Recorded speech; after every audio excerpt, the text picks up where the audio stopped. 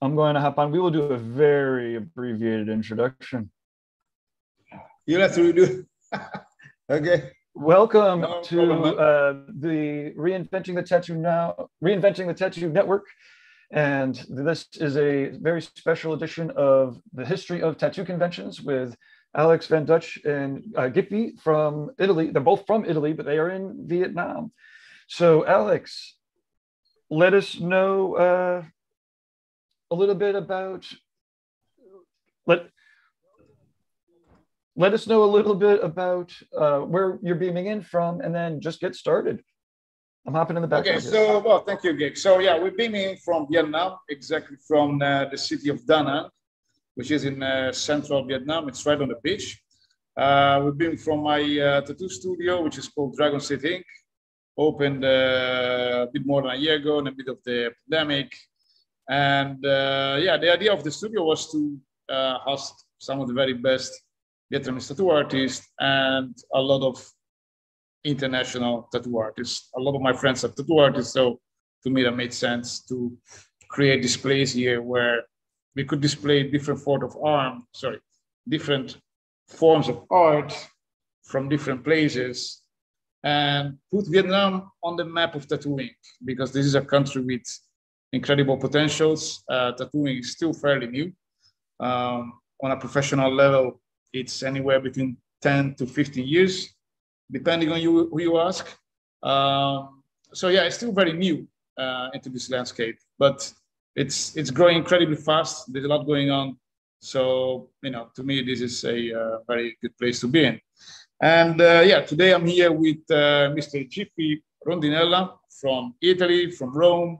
We're actually both from Rome. Uh, he's spending some time here in uh, in Da Nang, and uh, um, we, we we always talk a lot and he actually he shares a lot of stories with me. I don't have as much as he does, you know, to tell him, but I normally listen to a lot of his stories about tattooing, traveling, and all the kind of crazy experiences that he faced anywhere in the world. So I thought, hey, this could be a good time to sit together. We're sitting here very cozy, by the way. normally we do this online at a distance. Uh, but uh, yeah, today we we lucky enough to sit next to each other and and just just hear from GP his uh, his story, which again, like I think is incredibly interesting. Uh, yeah, GP has been around for a little while. You want to share like how long have you been involved into Well, uh, I think it's a quite a long time. It's about more or less uh, 45 years, even something more. I mean, I mean, I happened to make a first tattoo for just for fun on uh, on a friend of mine. She was American in uh, New Delhi in 1970. I mean, she had a, a known uh, done by a street tattooer in India, and they didn't come out proper. I was always fascinated with tattooing. I don't know why.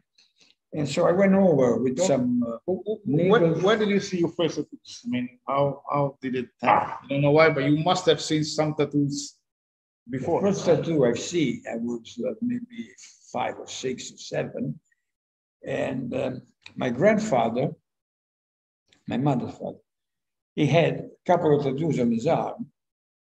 And he was a, an incredible man because, well, probably, uh, probably was a gypsy because he had, a, when he was young, he had a circus. So that was in the beginning, the last century, and the beginning of the other century. So uh, who had the circus at the time in Italy? Uh, it was an acrobat who was walking on the rope, and the other people in the family were doing other things. Uh, there must be a gypsy, more or less. It's it's it's It's possible. It's very it's very possible. probable. Yeah, because he has he had golden earrings, long hair, a gun in, in his belt, and uh, uh, he was a funny old man. And another one was a, a kind of a cousin that I had that always in the in the 50 you know in, in the late 50s beginning late 50s he came back from australia where he was hunting crocodiles So he came back with those big tattoos on his arm, dead before the zone, or eagles and blah, blah, blah. And so being a young kid, I was fascinated with these colors, with this, uh, I don't know, probably must be uh, love at first sight. But love at first sight. did, where did the guy, didn't get these tattoos in Australia? Like this Well, or, got uh, these tattoos in Australia somewhere, I don't know where he was, in probably in a jungle somewhere, because he was hunting crocodiles. So uh, he came from, from the Italian Air uh, parachute uh, force, then he went to here in Vietnam, unfortunately, during the war with the Foreign Legion. And then after the Foreign Legion, he went to Australia and uh, then he came back to Italy. And then he became a straight normal person, incredible, uh, working in, uh, for the government with big tattoos on his arm, with the shirt on, because at the time, of course, uh, tattooing was not very popular in Italy. It was only for criminals, for, for, for, for gangsters, for prostitutes, for, I mean, usual things. all the humanity All the humanity that deserves. That has tattoos. This, so this is like in the 70s, right? We're talking about Oh, now we're talking, now we're when talking you were kids. when I was a kid. Yeah, when I was a kid, and then in the beginning, in the sixties, In the 60s. in Oh. the end of the fifties, beginning of the sixties. So in the 50s, 60s in Italy, you still had quite a When I came back, when I came back from India the first time on uh, uh, seventy, uh, I just had a small tattoo done in Kathmandu on the, in the street. on a street. Yeah, on Like the what, kind of uh, Uh, it was, equipment did they have? it was, um, it's a sun, You want to show it? You got Uh, well, it's a, it's a sun, like probably I know you can see it. Made in Made in Kathmandu. Kathmandu in 1970 in And it's still street. there. Still there. in the street. And um, with the, it was a Nepalese rupee done with the pencil and then the, the races. And the people on the on the buses, when I was getting the buses to the to the city or even to the city in the summer, they would look at me like I'm, you know, just running away. Like it was Like a a, tattoo guy. yeah, it was a, a criminal. This was in Italy. It was in Italy, exactly. Then the year after, uh, coming back from India, the same, I happened to stop in uh, London and I wanted to get a proper tattoo. So I ended up in this uh, incredible shop. And uh, I had a, a tattoo done by, it's an honor for me, by Leslie Burchett. But at the time, I didn't even know who the guy was. I didn't know the, who Burchett was. Didn't Became know- a legend after. he- no, I mean, he was a legend was already, already. but I didn't know nothing. Oh, So I got this butterfly from uh, from uh, Leslie Davis, and there was my first proper tattoo. I mean, it's still here from after 50 years. And You can see the butterfly here, so, okay, Virgil so Davis. why did you decide to tattoo yourself in a time where tattoos were still not really well seen, at least in Italy? No idea. I was fascinated by tattooing. I was collecting all pieces of shit, of papers, whatever I could find, and magazines and uh, and all, uh, just to keep it. I don't know. It was some- some- something probably was in my in myself. I didn't know. I didn't know it. And uh, well, You just wanted to do it. I just wanted to do it. Just was fascinated by tattooing. I was collecting things, and uh, I was trying to to know something, but I couldn't know nothing because it was very difficult at the time. Of course, yeah, yeah, no Very, very difficult. I mean, the the the first machine I got, I got it in India from uh, a street tattooer. He was in Goa, uh, working in the market on the floor, and he's the same guy that also Felix, Felix Leu, Very good. met while we were in India. So he got I the machine met, I met- no, I don't know if Felix got a machine from the same guy. Probably Felix got a machine in uh, Germany, in Switzerland, Oh, even before. I got my first machine from him, from the guy, because in Italy, I mean, Felix was from Germany. Okay. So in Germany, uh, tattooing was uh, already, developed yeah, a little bit. yeah, I mean, Warlich and uh, all the other guys in, in uh, Hamburg and so on. In Italy, which was nothing. Uh, in Italy, tattooing was in jail. So no way. It was only in the, in the, about 75 It started to come out a little bit. it started to come out a little bit because they were, I mean, me in Rome, Gian Maurizio and Dino Spadaccini in Milan, Yeah, Maurizio Fercioni. Gian Maurizio Fercioni, eh, Mino Spadaccini, and Marco Pisa in Bologna. So you were four. We were three or four of us. three or four four tattooers in Italy. but we were, we were working on the side, not official. So you didn't have a shop at the time. We didn't have a shop, we didn't have nothing. Because Gian And there were no was shops at all, right? There were no shops at all. The first shop, official shop, they opened in Italy, was in Bologna by Marco Pisa in 1985, just after L'Asino Zebra, the exhibition was in Rome. And I opened few months after, because in Rome they were a little bit more conservative, in the Pope, blah, blah, blah, in uh, the beginning of 86.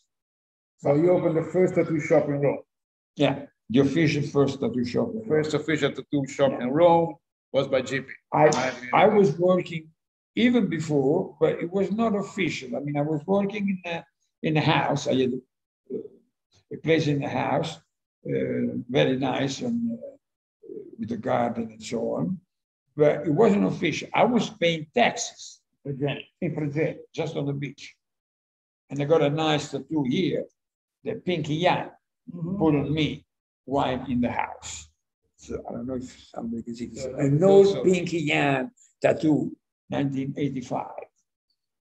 Yeah, well, so that's quite a while. ago. Yeah, It quite a while.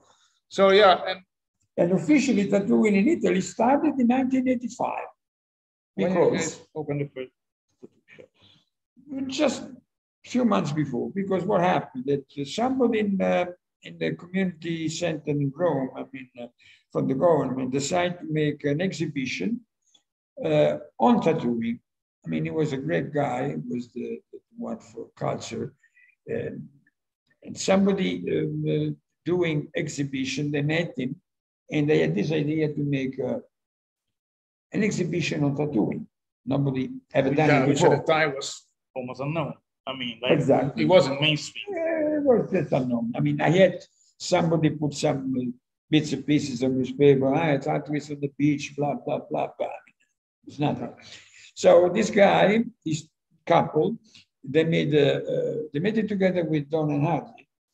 And uh, with the help of- Ed, they just made up this beautiful uh, exhibition that lasted three weeks in Rome. And was- About the doing. about the doing. And it was called L'asino e la zebra, the donkey and the zebra. Was this the real first type of tattoo event in Italy? It was the Or- first tattoo event in Italy. It was uh, uh, a tattoo exhibition that then turned into a convention. Because of of course people start coming, they're paying, uh, blah, blah, blah. Everything was still under the table Um, um, okay. because it was not a convention. We couldn't do a convention. It was an exhibition. So was there any live tattooing? There was a live tattoo, Was sure, sure, sure, for three weeks. For three weeks. Three weeks. Three weeks of live tattooing in Rome. Yeah. In 1980. 19, March 1985. 85. And that was the beginning of official tattooing in the country. So this was even before the first events by Marco Leone Bologna. Marco in Bologna was in 1993, There you go. A long time after it. long time after. The first Italian convention was in 1993 in Bologna. So yeah, which by the way, we had an interview with Marco like a while ago. I didn't remember it was 1993. I thought I remember it was like the 80s, but it was 1993. Yeah. And uh, so you witnessed the first event in 1985. It was before Marco, before Who Marco, was there? Who attended the event? Who were some of the people? Do you remember some of the people that were there at the time? Hanky Panky was there, Shotzi Amsterdam. Gorman, Lyle Tuttle, uh, Sulu'ape, Dennis Cockell, uh, the Dutchman, uh, so many. Well, Zueda. Leo, Leo, of course.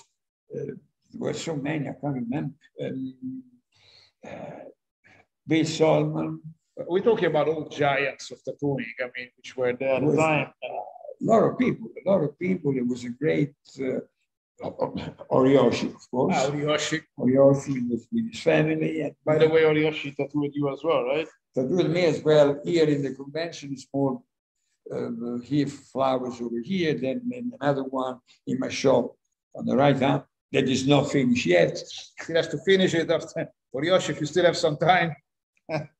Well, 45 years later. yes, one of these days I have to go and see it. I want to finish. Very up. Well, we are not here. That would be nice. And um, yeah, there were a lot of people, a lot of people, a lot of great people. They are still working. They're still around today. They're still around today. I saw them recently. I saw Leo. It was very nice to to see him after many years, and uh, nice. Well, how did the public, the general public reacted? Was it even the public allowed or was something only for? No, no, no, no, no. It was, was an exhibition. It was an exhi- a free exhibition. Okay. And it was done in, um, in the forum, uh, um, the old part of the Roman history was all over. It was bloody cold because there were no windows, no, no, no doors, no nothing. It was March it was cold. But it was, I don't know how many thousand people came in the, in the show. I don't know how many hundreds that got tattoos. Wow. It was really incredible, really incredible. So first real tattoo event in Italy. And that was the beginning. And then in this event, I had the, the chance of, uh, of uh, having this guy that came up and said, Oh, the young publisher, I would like to do a book on the history of tattooing. Nobody knew nothing about it. But I had a lot of books that I bought. And there was, at the time, there was still no any real publications in Italian. No, nothing, about tattooing. absolutely nothing. So, So um, he convinced me to make uh, this book. I'm not a writer, but so then I start reading again all the books that I had. They were almost all in English, of course. And so we came up with uh, the sign upon Cain. There was the Segno di first- Caino. Segno di Caino. Segno di Caino in It was the first book in, in Italian on the history of tattooing, and it was done also in the English version. And it's been, I believe, sold more in uh, in the States and uh, abroad than in Italy, because in Italy they didn't distribute it at all. Well, maybe there were more Italians in the south of Italy. I mean, it's a country of migrants as well. Yeah. So, No, but there is a, a funny story about the, the, the distribution, distributing the, the book. I mean, uh, the guy gave the distribution the book to a friend of his from a small city where the publishing house was, and he's supposed to distribute the book all over Italy. But the guy was about 40 at the time, 45, I don't know. And he ran away with an 18 years old girl of his town. So he disappeared, nobody distributed the book anymore. It was fun. And the book is is it still around? Is that a collector item? The book is a collector item, it's a very difficult to find. And it was expensive at the time because it was a very nice book, very nicely made. And it's very expensive and very difficult to find right now. Very difficult. In Italy, it's almost impossible. Uh, I saw on eBay in the States that somebody is selling it for 300 400 dollars. How long did it take you? Did it take you to to to make this book? How long have you been working on it? I worked there for about a couple of months, reading again everything and collecting, and then uh, Ed Hardy helped me to to to collect all the pictures because I mean I didn't have I mean I had connections on the guy that were in uh, an exhibition in Rome, but then I needed more pictures to To fill up the book. to fill up the book. So I called ahead and he gave me a list, a mailing list of uh, a lot of uh, artists. And uh, so I sent letters to everybody. And I have to say that everybody was fantastic, sending me piles of Pictures to publish for your book. publish. That's interesting. And uh, It was nice. Big, I mean, I didn't do nothing for, for the, the choosing and putting together the pictures and all, because I don't know, all this is completely out of my. you also like background stories, like around many of the pictures and the artists. And I think this was again like the real, the first time that in Italy. It was the first time in Italy they could read something read. about the history of the. in Italian. In Italian, yeah. So you see, like this is why I'm, I'm so happy and honored to to do to have this uh, interview here with GP because I mean, you know, it's it's it's a pretty big historical figure. A few years after, 85, there was a, well, there was a small convention in Italy before Bologna. And uh, Gian Maurizio Fercioni made it in uh, Milano. But it was That's something else that I didn't know. it was, I mean, it was even there, it was a convention but it was a little bit Underground. underground. Non-official. Not, not really official. It was in a theater and it was not a lot of punks and uh, art. Theater in Milan. What was the name? Oh my God. I don't know even if he had a name. Tattoo meeting in, uh, in a tattoo meeting in, Milano in this uh, theater. Gian Maurizio organized everything. Um, Horiyoshi came. Well. Uh, Horiyoshi Marco Pisa, Hank from Amsterdam. Then I think there were Bank again. the I think the bank again. I think there were only us, a little bit known, and all the others were young tattooists from Milan. Mm. Some punks and was That was already the, the second generation of that was starting of tattoo. The- when well in Italy I'd say they were the first generation because we were out of the generation. You were before the first before the generation. generation. So how was the relation between the tattoo artists in the early 80s, right, when, when tattooing started to emerge? Uh, Well, how- how a great, a great uh, get to we have to thank to to a couple that they are no longer with us now. That they made the first tattoo magazine it was a Tattoo Review. Tattoo review, yeah. Tattoo Review that I still after have a number became uh, Tattoo Review. I have a lot of them. And um, Tattoo Review, they made, of course, the first uh, uh, almanac Yeah, I, the- yeah, the- all the tattooists in Italy. So people were sending pictures and uh, they make all the addresses and blah, blah, blah. Uh, there was a lot of people tattooing at the moment. I mean, because it spread very, very fast. very fast. Even because there was somebody selling uh, equipment, unfortunately, to So- cats and dogs. so okay, so this is the other the other thing. I mean, back then, like when when tattooing wasn't a real industry, No, it was not, it was not a real industry, but how, how would you get all the equipment? How would you where would you find the machines? Where would you find the colors?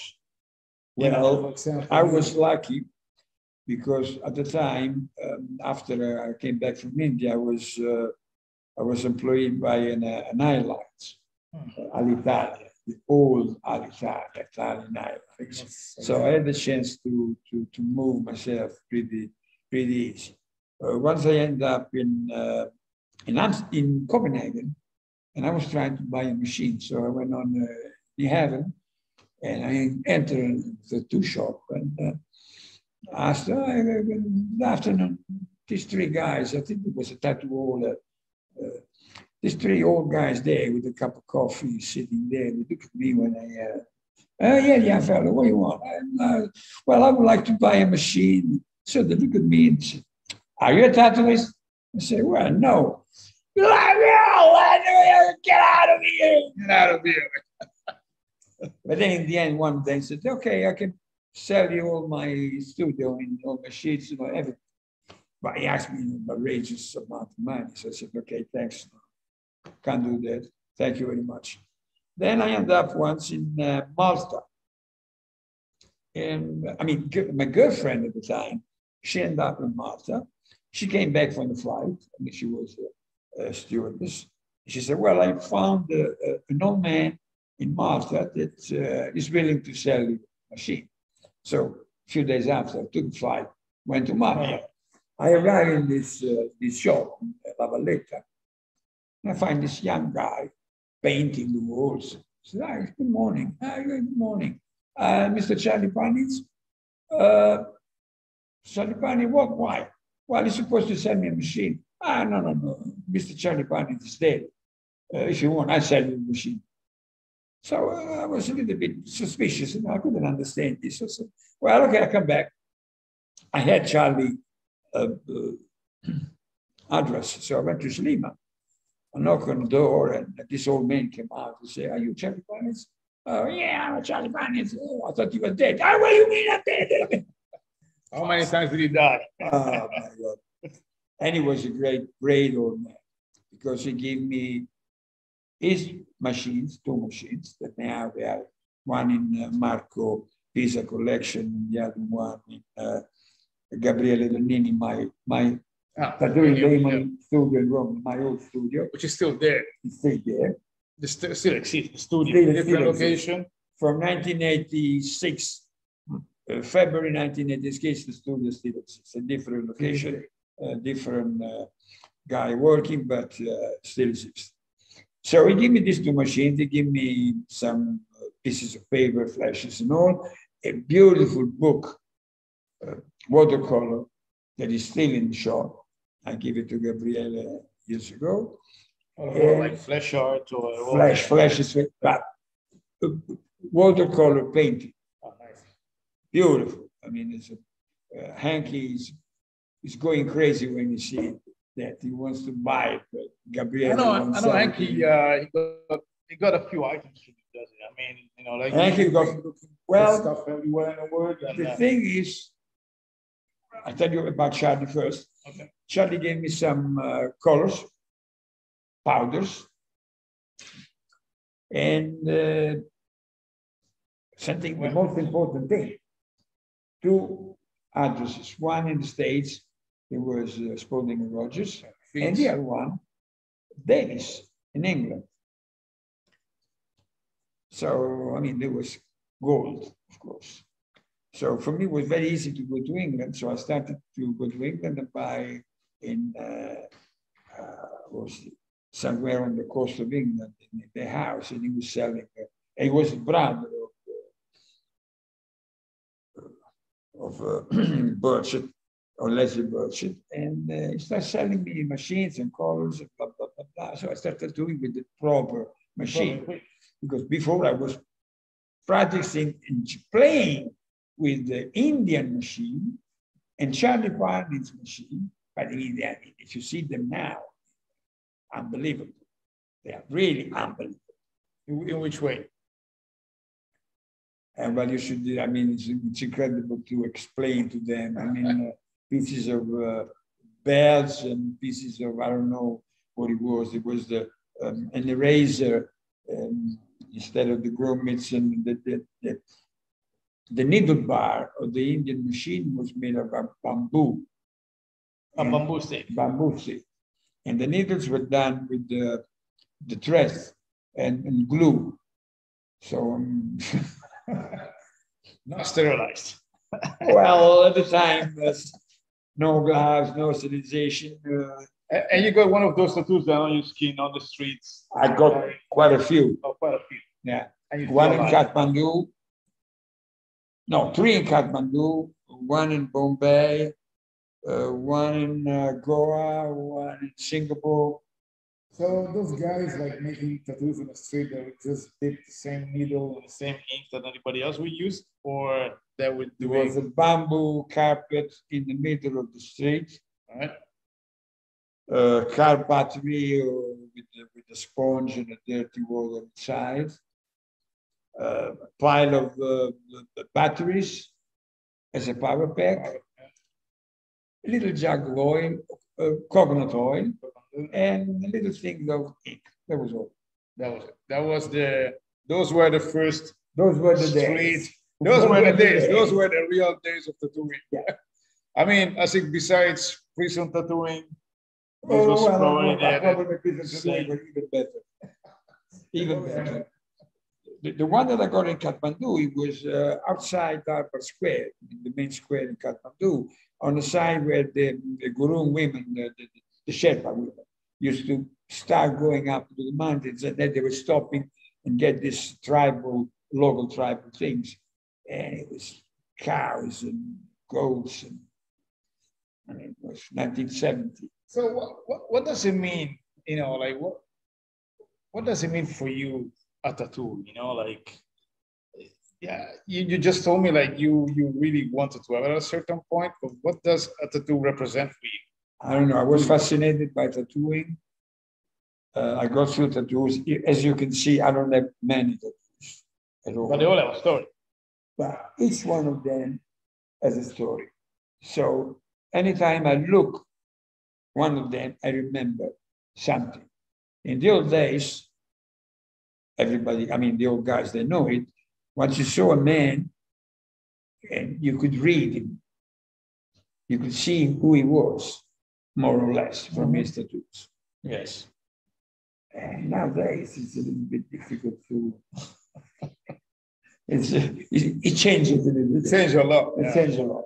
It changes a lot. I mean, before tattooing was uh, having uh, your, your story on Yes. And how about now? Now is to have uh, internet story. internet story, something downloaded from the internet. Download uh, from internet, from, from, from, all this. Uh, uh, I'm not into social uh, socials anymore. So, but it's different. It's totally different. I mean, nowadays you go fantastic artists, fantastic, unbelievable artists. Yes. But I'm sorry. I recall them as painters, as a skin painters. I think once you mentioned Dermogra- Dermo illustrated. Dermo illustrated. Exactly. Because now it's a, it's a I mean, it, I don't recall it tattooing anymore. I mean, uh, sure, I mean, it's tattooing because you put a needle in the skin, color in the skin. But as we can see, and you know it, and maybe everybody know it, uh, a lot of the work that is done today, it disappears after a short while, or it goes all confused after a short while, because the technique is different. You go to a convention today and you don't hear anymore the buzz of the machine. I mean, the buzz years in years back, you were walking in, any city uh, along the, the, the, the, seaside or whatever, and once all of a sudden you could yeah. wow, look, where is it? you realize there was a tattoo place in Paris, in London, in, in, in Amsterdam. And nowadays you go into the convention and you barely see one or two coil machines going on. Very rare. Very rare. Yeah, I think like for, I mean, this new technology with the rotary machines, I think it's it's probably a lot easier. Well, it's, it's, it's, it's, the changing, it's the changing time. I mean, it's okay. Uh, but um, personally, I don't, uh, I don't belong anymore to this uh, this world. I still go sometimes to some tattoo convention. They invite me, um, especially in Italy. I became like a, um, was it Santino? I don't know you say in English. Santino da mettere in commento. Yeah, the Santino, I mean, for the Catholic, the Santino is a small image of the saint, of the, the Virgin Mary. Uh, oh, master. I'm not a master, I'm just old, that's all. Um, you were there before everyone else.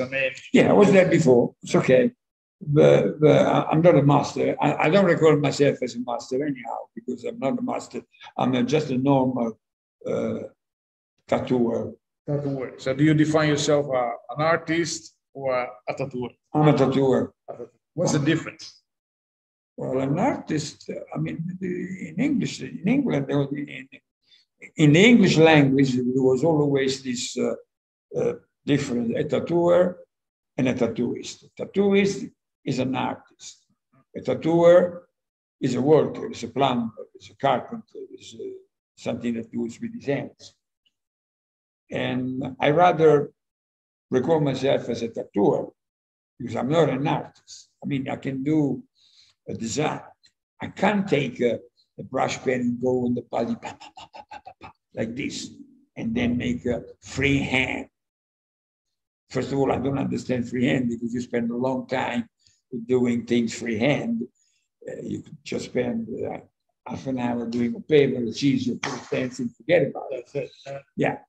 Uh, otherwise, we don't have today a craze for a collection of old stencil in plastic, in paper. I mean, today there's a big collection of uh, stencil and flashes and all. Uh, in the old days, wasn't like this. I mean, I've been collecting uh, stuff all over Asia for years. In fact, I got a couple before, you have a couple, and uh, Hank has a few in his collection. Marco Pisa has a few, has a lot in his collection, and many other, even in the States, they have a lot of my sheets that I found.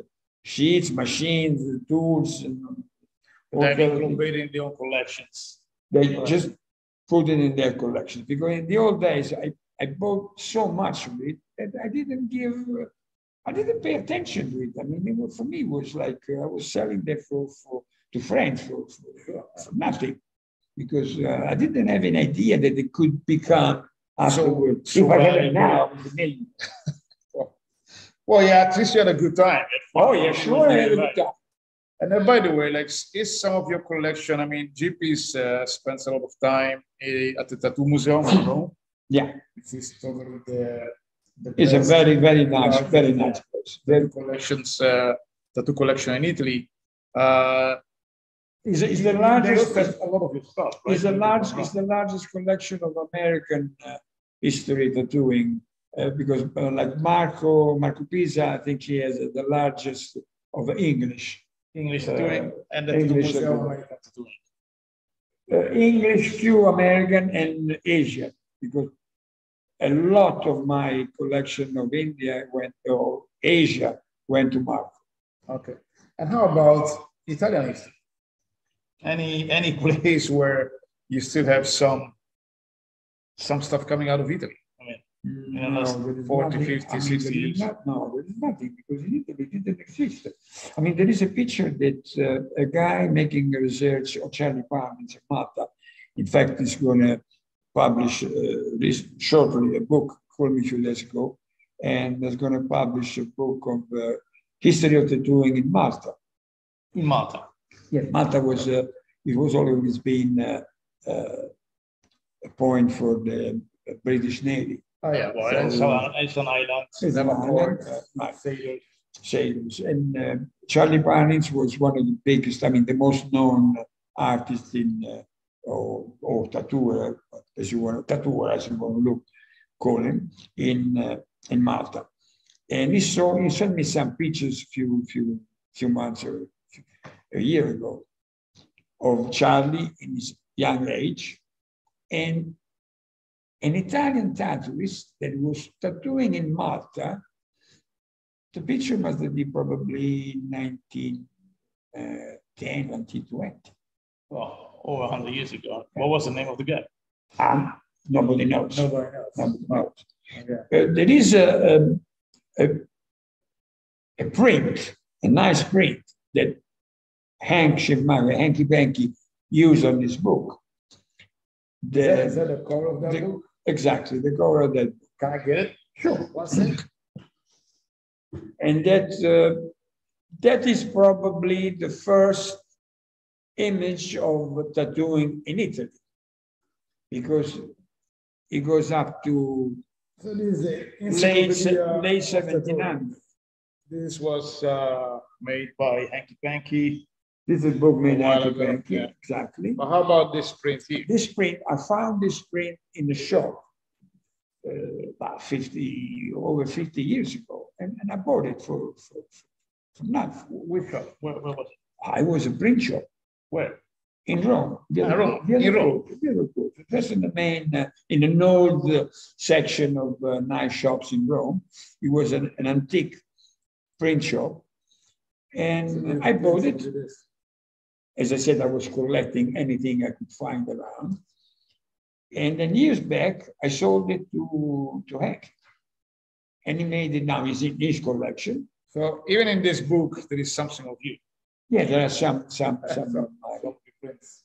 Is there any other prints? Of- no, no any, no any other prints of Italian tattooing. Uh, uh, yes, there are some other designs of prints of uh, old designs, because in Italy we had uh, uh, in 1800, in the end of 1800, beginning of 1900, we had uh, Cesare Lombroso. Cesare Lombroso was uh, an anthropologist that he became uh, afterwards um, a criminologist. Hmm. And so he made uh, a research in Italy in the prison. So we had this idea in Italy that uh, tattooing was for prisoners. Because when he went into the prison collecting, copying designs from, uh, from the inmates, they had tattoos. But he made, uh, as I, I mean, as far as I'm concerned, he made a bad mistake because all the prisoners at the moment in Italy, sure, they were inmates, but 80% uh, of them, they were soldiers and officers of the army of the south before the because Italy was divided in three parts. Yes. Okay, it was the Vatican in the seat in the center, south of Italy had the king, and north of Italy had a bunch of different uh, kings and blah blah blah. Yes. so Garibaldi, famous Garibaldi, one of our heroes. Uh, yeah, of, I, mean, I mean, kind of heroes. I mean, for me, he was a pirate. I know he was. He was a pirate. I mean, he was a mercenary, not. Uh, he had tattoos. And he was. Uh, he was one of the first famous yeah, yeah. tattooed uh, guys. He was. He had, he had tattoos, and uh, anyway, this Lombroso uh, made this research and found out all these people, these inmates, they were he had tattoos, but they were officers and army men from, from the south. Where did they collect those tattoos? From where? He was collecting the image of tattoos because he was convinced that uh, people with tattoos were criminals. I mean, he was convinced that if you had your ears very large, you were a criminal. If your nose wasn't in the proper uh, position was a you have a criminal. So he thought there was some kind of genetics. Uh, in, in the south, in the south of Italy, in Napoli, there were the, i femminelli. The oh. femminelli are the, the, the nowadays. Uh, uh, gay or something. Well, or yeah, effeminated. effeminated people. I mean, they were criminals because they were effeminated. I mean, he was a little bit twisted man. And, a bit conservative as well. Yeah, yeah. Well, you are kind to say conservative. he had a twisted mind. And after him, there were another few um, teachers and professors, De Biase and uh, uh, another one, I don't remember the name, they wrote books on tattooing that we can still find in Italy. And uh, I mean, it's very difficult to find them now because they belong to 1920, uh, 1910, even before. So there are all these pictures drawn by, by, by hand of the inmates that had tattoos. So that was the first book on the not on the history of tattooing, on, tattoo. on criminal on criminal tattoo. Criminal exactly. tattoo. Exactly. That's interesting. That's interesting yeah. story. We have in Italy also uh, documentation of uh, religious. Hmm. That now Jonathan is made in Jonah is making in uh, in Italy. Jonathan at the Tattoo Museum. John, no, Jonah, Jonah from Ancona. Ah, John. Okay. Um, he's a guy that he took back. I mean, there is the, this religious history that uh, the house of the Virgin Mary flow with the angels all the way from uh, Bethlehem to Italy in a monastery, blah, blah, blah, blah, for who is Catholic. And um, the monk in uh, this, not the monk, the cobbler of the city, they start doing uh, with, uh, with something that you use for sewing shoes, putting tattoos on the pilgrims that they were going to see this house mm. in the monastery. So there is a large uh, collection of uh, wooden blocks like like the one in uh, Israel. The same one is in Israel. Exactly. Oh. Exactly. So I don't know this story about about exactly. So in Israel, he, he has them in uh, in the shop. The one in Italy, few are in the monastery, and it's very difficult to look at them. And some other are in the museum that I don't know why is closed at the moment, and it's very difficult to see them. So almost none of those uh, wood blocks are very, very rare, very rare to see them. The original one is very rare to see them. Which those were the really first. stencils. Exactly. The very first stencils of religious tattooing in the history of religious tattooing. But even then, we have a story uh, Uh, in religious tattooing because tattooing in Italy has never been popular because in 19, 1900, Pope Adrian I decided that tattooing was not for a good Christian because the body was done in the image of God.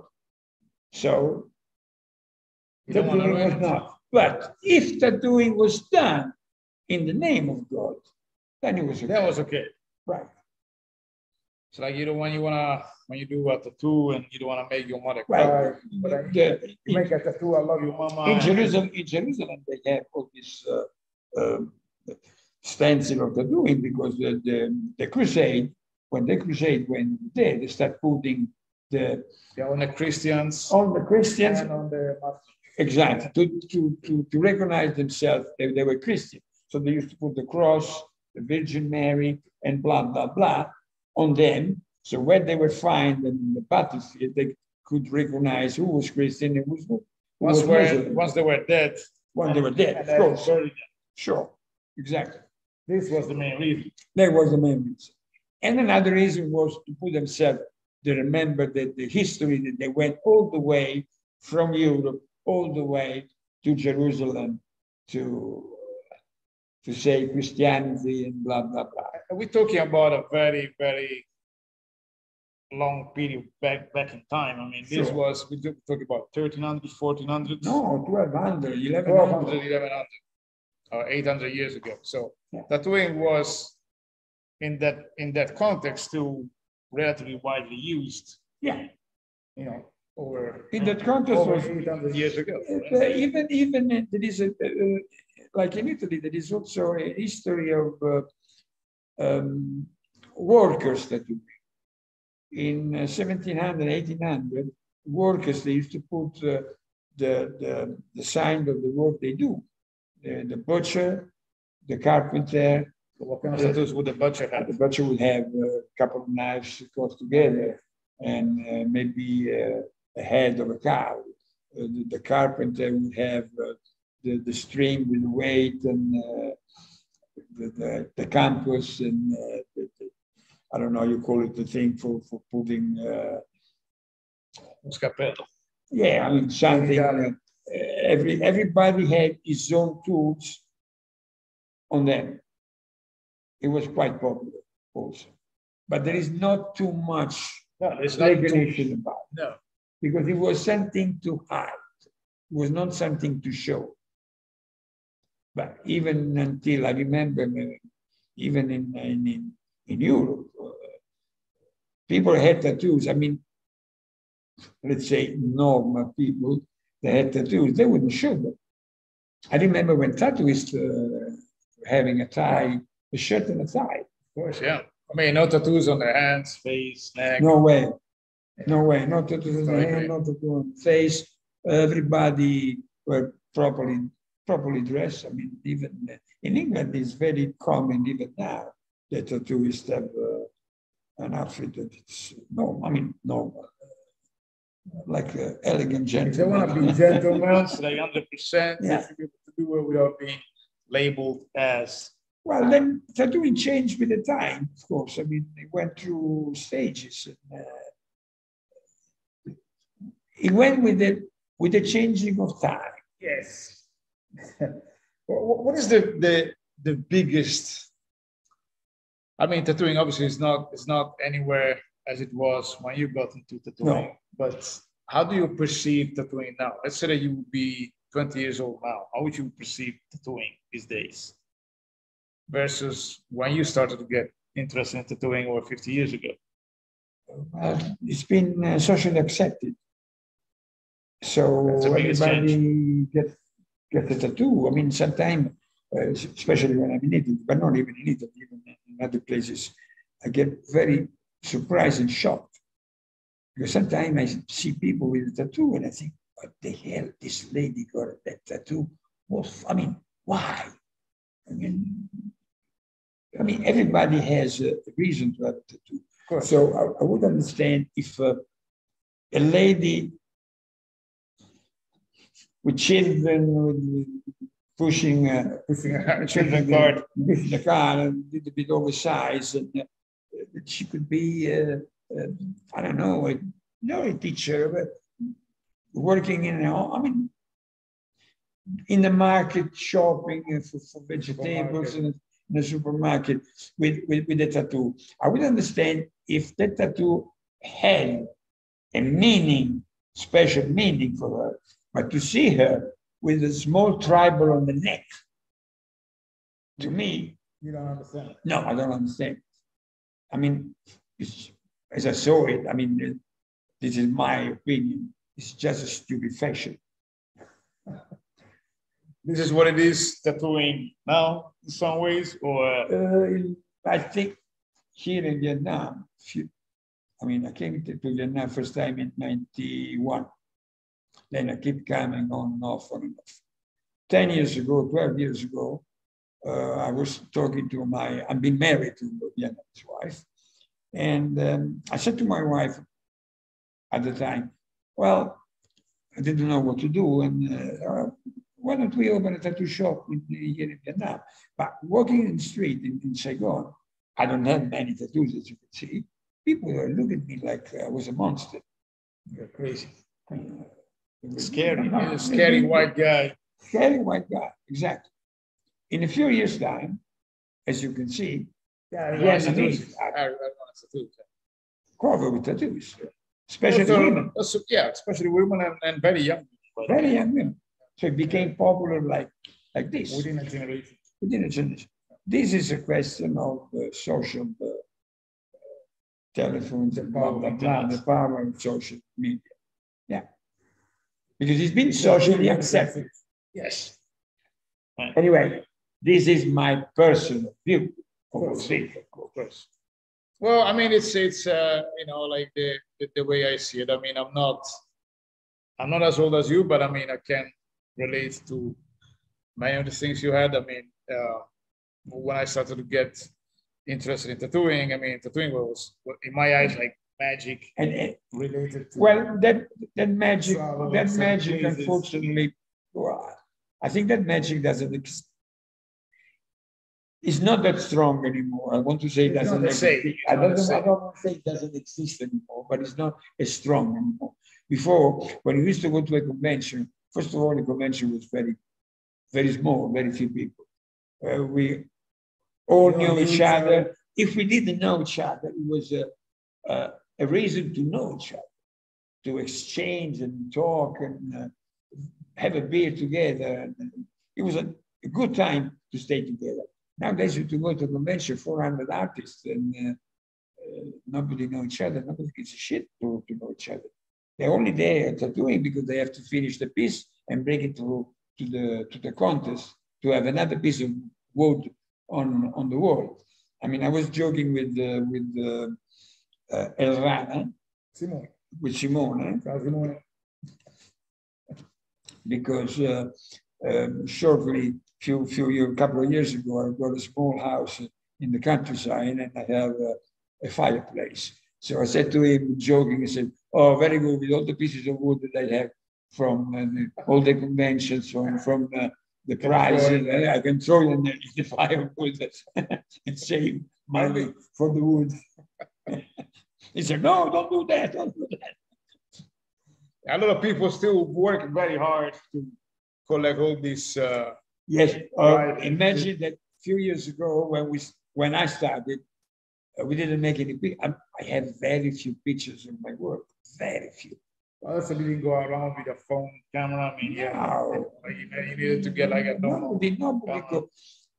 At the time, there was Chris, Chris Wroblewski used to come in conventions, making pictures of the people and, and publishing in his book. Yeah. But uh, the artists, nobody had the camera and recording what, what they were doing. Never. Never. Which on one hand is sometimes like a little bit of a pity. I mean, mean that we Sure. can't really witness everything that happens. Sure, it's a pity. Back at the Sure, it's a pity. But uh, um, sometimes you can see uh, pictures of uh, Tattoo Club uh, of Bristol uh, Yes. Rescue. Yeah. But there was a bunch of guys, very few pictures, not so many pictures. Um, And some of them have been around for decades. They've been around for decades, sure, sure. So there was somebody taking pictures, okay, because they were into taking pictures, but the, the artists, they didn't care taking pictures. At the time, they didn't have even the time of taking pictures because the work was so. Just imagine all the, these guys that used to work in the States with GIs during the war, before the war, Korea, Vietnam, and so on. There were people in line waiting to, you know, beer in hand, getting a small tattoo and then jump on the plane. And that's why I had to do flash, flash. I mean, Right, Yeah. you get inside, that one, my board.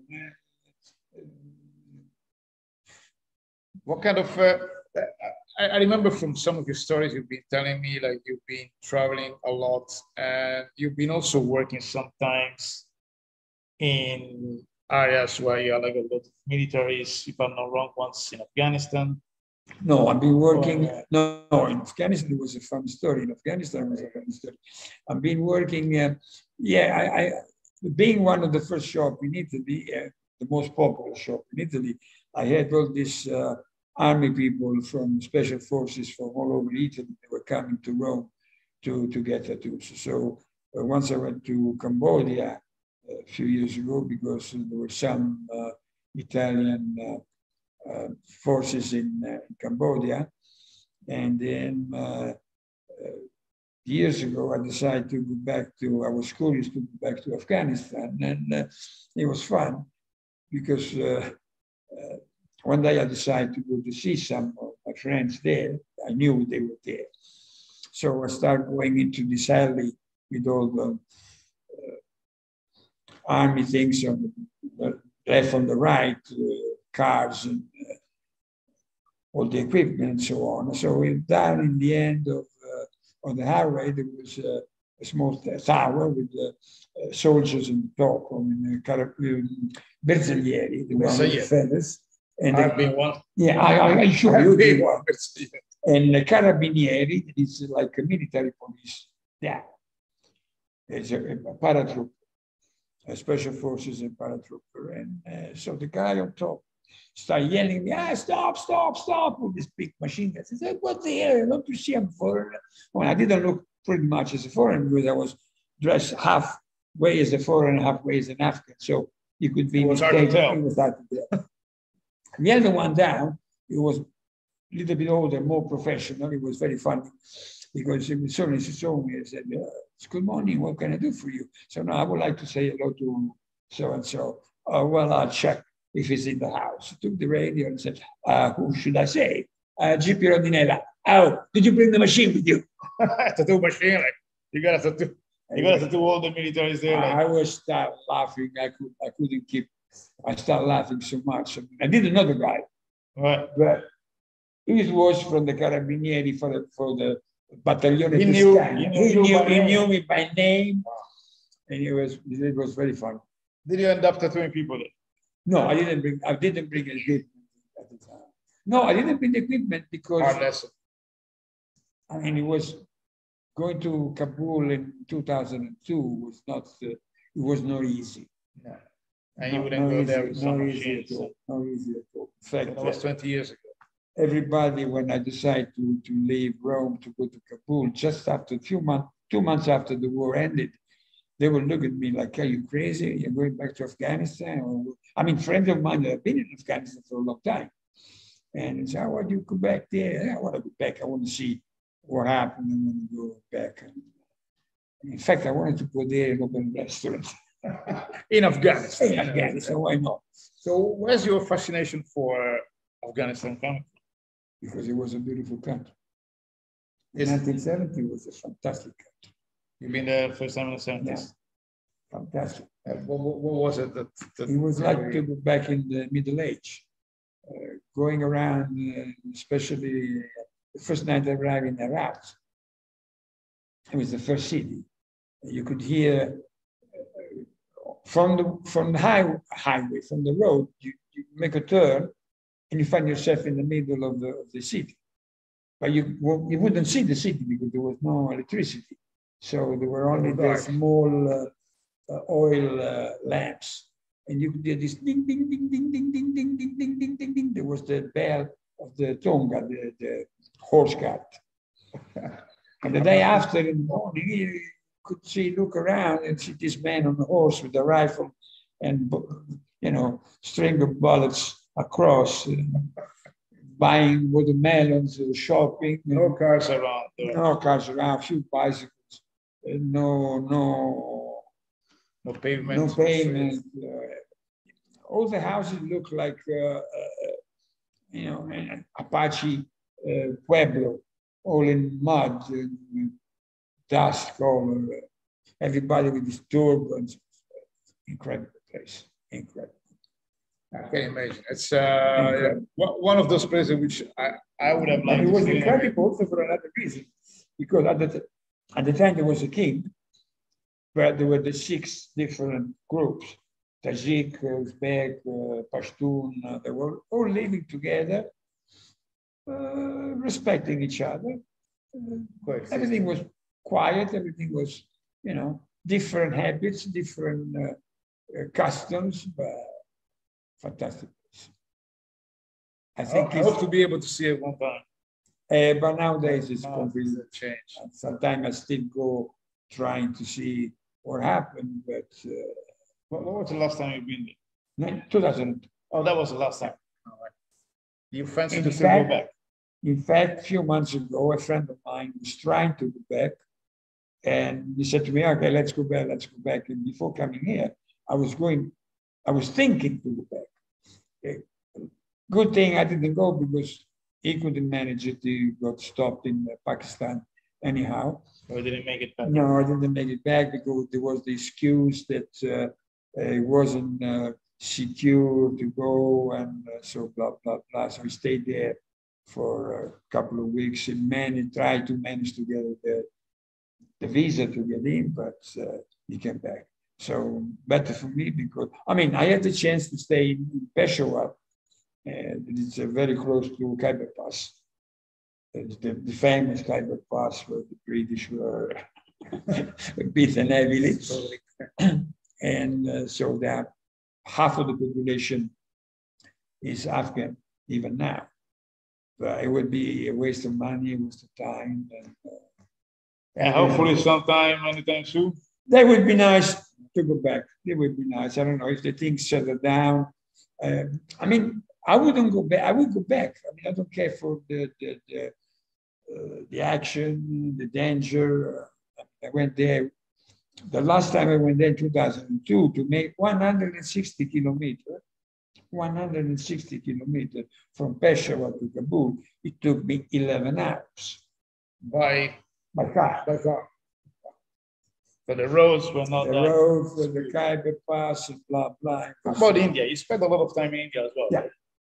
And uh, spent a lot of time in India and Goa. I mean, all over India, but especially in Goa, where I had the chance to meet uh, Felix, the great Felix Leu and the family. Loretta and Philip, he was a young boy. And, uh, but it was only Philip, but maybe Philip and his daughter and, and a daughter. And all the others, they came afterwards because they are the two oldest We were ones. not born yet. And they were not born yet. Then I- Uh, how, did, how, I did you, how, did you, how did you meet them? I meet them because, uh, of course, I went to Goa. I was flying at the moment for an airlines, so I was going to go on my on my leave, and I was carrying with me my my equipment because you know it was the used to go After you fly, you go to Tucson. Yeah, you go there, you fly. No, no, no. I was on That, that was a good combination. Yeah, it was a good combination. I was there on vacation, but I used to bring the machine. And, uh, and so uh, one day, this guy came, I uh, so start talking to each other. I'm from uh, Switzerland, I'm from Germany, from Swiss, no, Swiss German. Uh, I'm from Italy, blah, blah, blah, you tattoo, I tattoo. Uh, but for me, it was fun. I mean, it was, I was playing in a way because I was flying. So I had my, my salary from flying. Felix was a, an old real hippie. Right. And so he was making his living with, uh, with tattooing. So I decided, okay, you do it, you know, you better do it, uh, make your living. But I was still tattooing sometimes friends. And it was were there. they already famous, or did you know who they were there by name, or they were just no, we were tattoo not artist? at all. We were just uh, scappati di casa. Escape from home. Escape from home. The literal, the literal uh, translation. he, he, he was uh, uh, an old an old young hippie and uh, I was uh, the same uh, an hippie with short hair because I was flying for an airlines but uh, until a few months before I was uh, in Kabul riding horses playing buzkashi and so I was mystifying myself as a straight So you look like yeah. So you were a hippie, but you had to look somehow. I had to I had to look straight yes I had to look straight because the airlines wouldn't accept me But when you were flying, you already had tattoos. yeah Did I like it at that time? Oh, at the beginning, at the beginning when uh, I entered for the airlines, they record on my on my record that I had tattoos on. Uh, the, the, the guy, uh, he was very funny. He asked me, "Are you a para, you've been in a tra- paratrooper?" No. Uh, you've been Are you a criminal? Yeah, you criminal? No, I have tattoos. Ah, okay, so he wrote tattoo on your I arm. didn't make it too much of a big deal. No, I didn't make it much big deal. A few years after, uh, there was a big thing on uh, on the island because they decided to give us short sleeves. So you had long sleeves at the We time, had long sleeves. so nobody would see them. No. The- the- the- So a few years after, they gave us short sleeves. So one day I went there, in, uh, the meeting place for the crew, and there was this guy. I mean, I knew him, and I've been flying with him many times. He looked at me, and uh, and it was summer. Uh, have you got your jacket with you? Oh, yeah, sure, I have it in my bag. All right, put it on, otherwise you won't come with me in those conditions. those So I conditions. thought, I thought he was joking. So, okay, okay, don't worry. I'm not joking. Put on your jacket, otherwise you won't come with me in those conditions. Well, I said, well, look, I signed already. If you like, you keep me. Otherwise, forget about it. Call uh, a reserve going home. So there was a big thing on, uh, of course, the captain arrived and blah, blah, blah. The captain said, well, he's on a uniform. I don't think there's nothing wrong. And uh, so we went for the flight. I remember it was a flight to Germany. And uh, on, uh, on the flight, on, on the way back, was Rome, Frankfurt, Rome. And it was very funny because on the way back in Rome, we landed, the idiot uh, ran away. And um, captain, the, commander, captain called me and he said, "Oh, look, uh, Mr. I'm sorry, but I had to sign the report to you. Report me, why? Well, because the, the chief steward wrote on a steel book. Steel book is a book that stays on, on the aircraft where you register all the, the inconvenience of the aircraft. Incidents. So anything happened, an engine is not working proper, the lights. He wrote in the book, a steward had tattoos on. That was a problem. That was a problem. So he said, I had to write, sign it because I'm sorry. Okay, don't, don't worry. I don't, give, I don't give a damn about it. It's okay. So a few months after, keep having a note in my in my box. Ah, dear friend, dear colleague, it would be nice if you come over. We would like to talk with you. Blah blah blah blah. Of course, forget about it. So one day I was in the, in the office there. And go, ah, good morning. What are you? Fine, thank you. Ah, could you? Um, send you a lot of notes, but you never came. Well, I don't come. For, you give me one day off, I come. Otherwise, on my day off, I don't come. Eh, would you want to come uh, today? Sure. Ah, well, you know, blah, blah, you have tattoos on. Uh, so what? And no, it's not nice because you know you understand. It's just okay, you can do something. You give me uh, a thousand, a million before the euro. You give me a million for each tattoo I have, and I'll take them off. I was getting the money and quit the airline. and, well, well, that is not possible. It's okay, not possible. Forget about it, because we had this short sleeves shirt. So in the end, they decide not to give me the, the, the, the money. the money, of course, and they decide that they changed the the book. I mean, the, the protocol book for flying. So flying crew couldn't have tattoos showing. And that was because of you. That was because of me. Alitalia decided that because of you at Alitalia, the national carrier in Italy. They couldn't have tattoos, tattoos that could show. I mean, you could have it in the body, but not not visible. Not visible when you were in the summertime when we had a short sleeve shirt. And I wrote this on the after the after the incident. Right. And a few years after. at the forefront.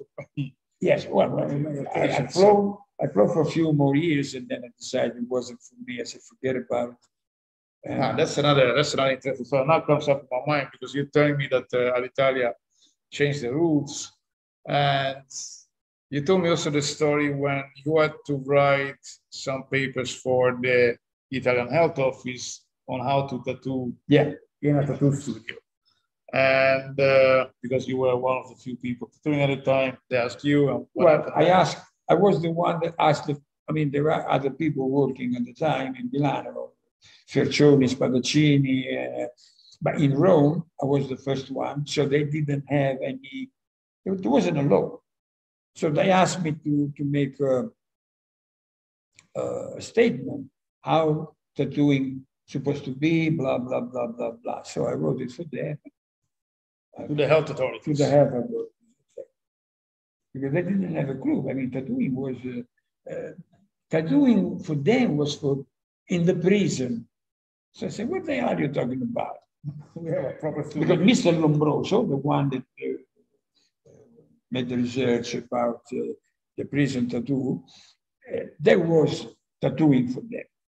So it was unusual to think that somebody wanted to open affiliate. affiliate. That, was, that wasn't that wasn't no, it was, it was, was not there was not a law. Somebody thought there was a law. Somebody thought it was uh, forbidden. Uh, somebody nobody knew anything. It was something totally new. So you had to write the papers for them. Try to write the papers for them, and as I explained, you know, the procedure, blah blah blah blah, and then uh, they authorized me to to open a shop. All right and but then people were, were the people which had to open the shops after you they had to study the paper do an exam or something or well they were lucky they were lucky because uh, then after after rome and after milan and bologna marco pisa marco pisa was uh, the first official shop few months before me in, in rome um, after Bologna and Rome, in Milano, the two towers in Milano, they were tattooing for a long time, the same, 70s. But they were doing another job. So uh, I think this was quite common back then. Yeah. Right? Like most tattooers, because it was not primary Because something. nobody could think that tattooing could be a profession.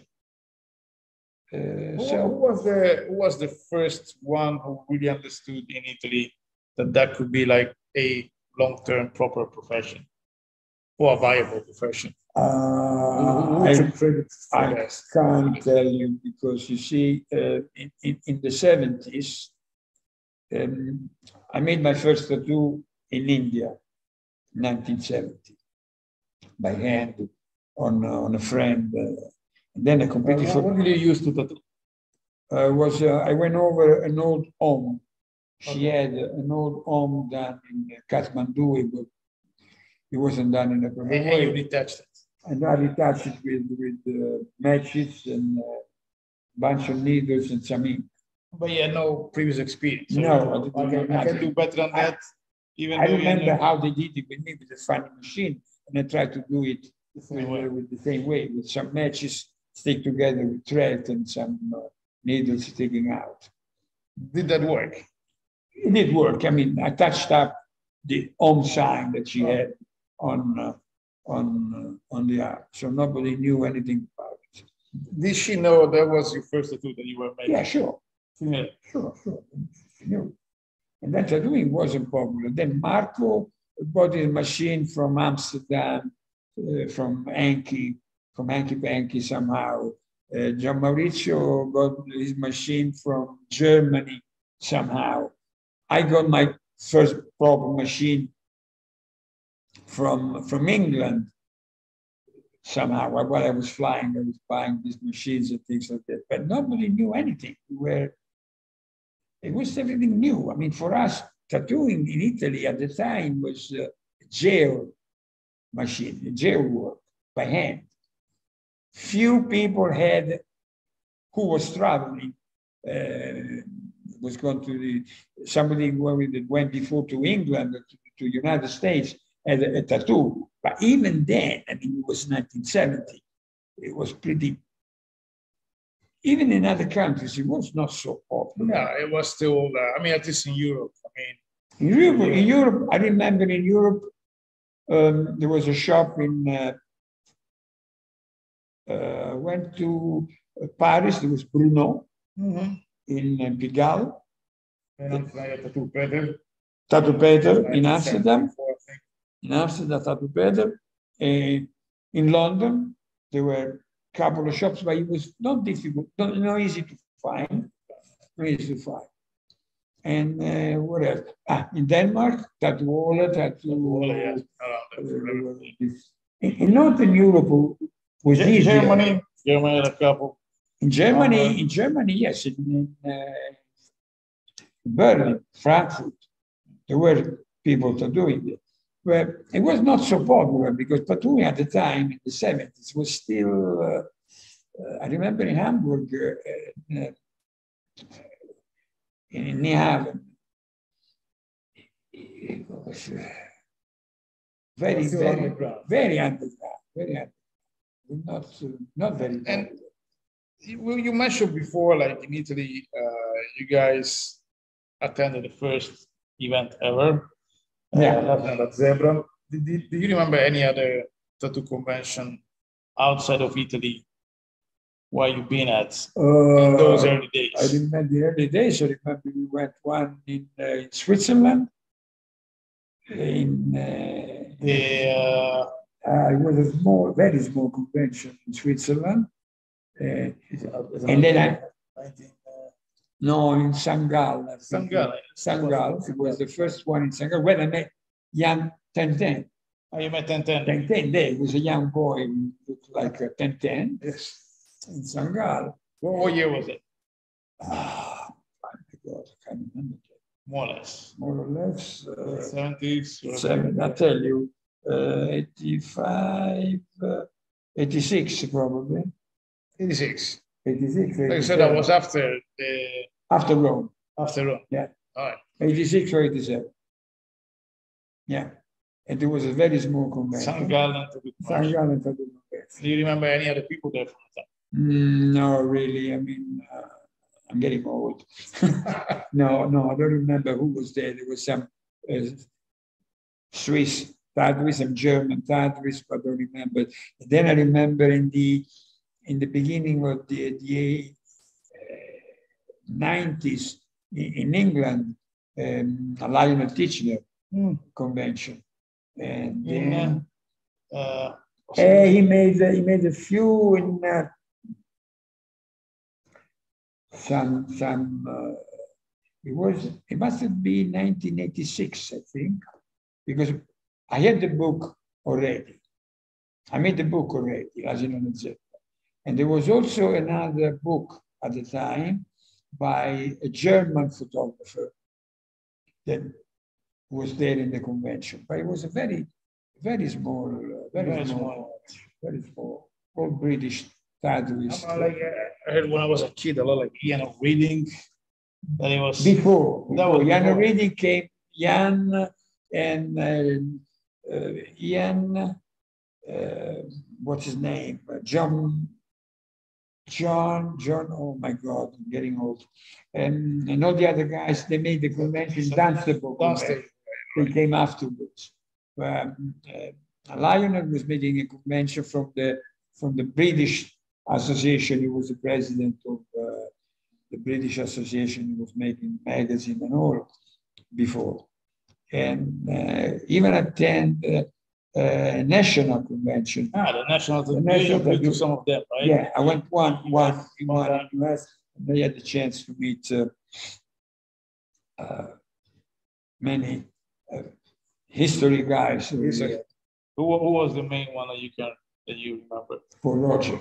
For Roger. yeah And it was very funny because there was also Mike Malone over there. And it was funny because uh, when we were before in Rome, I was talking to Ed Hardy, and he said that this sun that I have on my arm, I made it in Kathmandu, in the street. uh, and then when I was in, uh, in New York in uh, 1970, I think, yeah, I went into this studio in a house. There was this guy making tattoos. I didn't know him. It was my tattoo was was illegal at was illegal in New York. yeah, was illegal. And uh, there was this guy tattooing, so I wanted to put colors because he didn't have any colors, and it was Mike Malone. So I put all the colors, uh, yellow, orange, blah, blah, blah on my. Which is so gone. It's all gone. Yeah, in fact, years after, I put this dragon in uh, And we can uh, show it a bit like, here. The so sun, here was supposed to be the color. yeah. Here's supposed to be the color Mike Malone put many years ago. And I put this dragon in uh, Hong Kong that was going through the sun that had colors at the time. And And now the dragon is split in two. yeah, now the dragon is split in two. Oh, So I went to, I said to Ed the story of the, the color, the color weren't there anymore. So when we were in this uh, New Orleans convention, uh, Mike was there. She come, come, come, let's go and see him. Look, look, look, look, look what the hell you did. Uh, Mike looked at me like, who are you? It's like, you put colors on this in New York in 1970. he was laughing. he was a nice guy, And very uh, funny guy.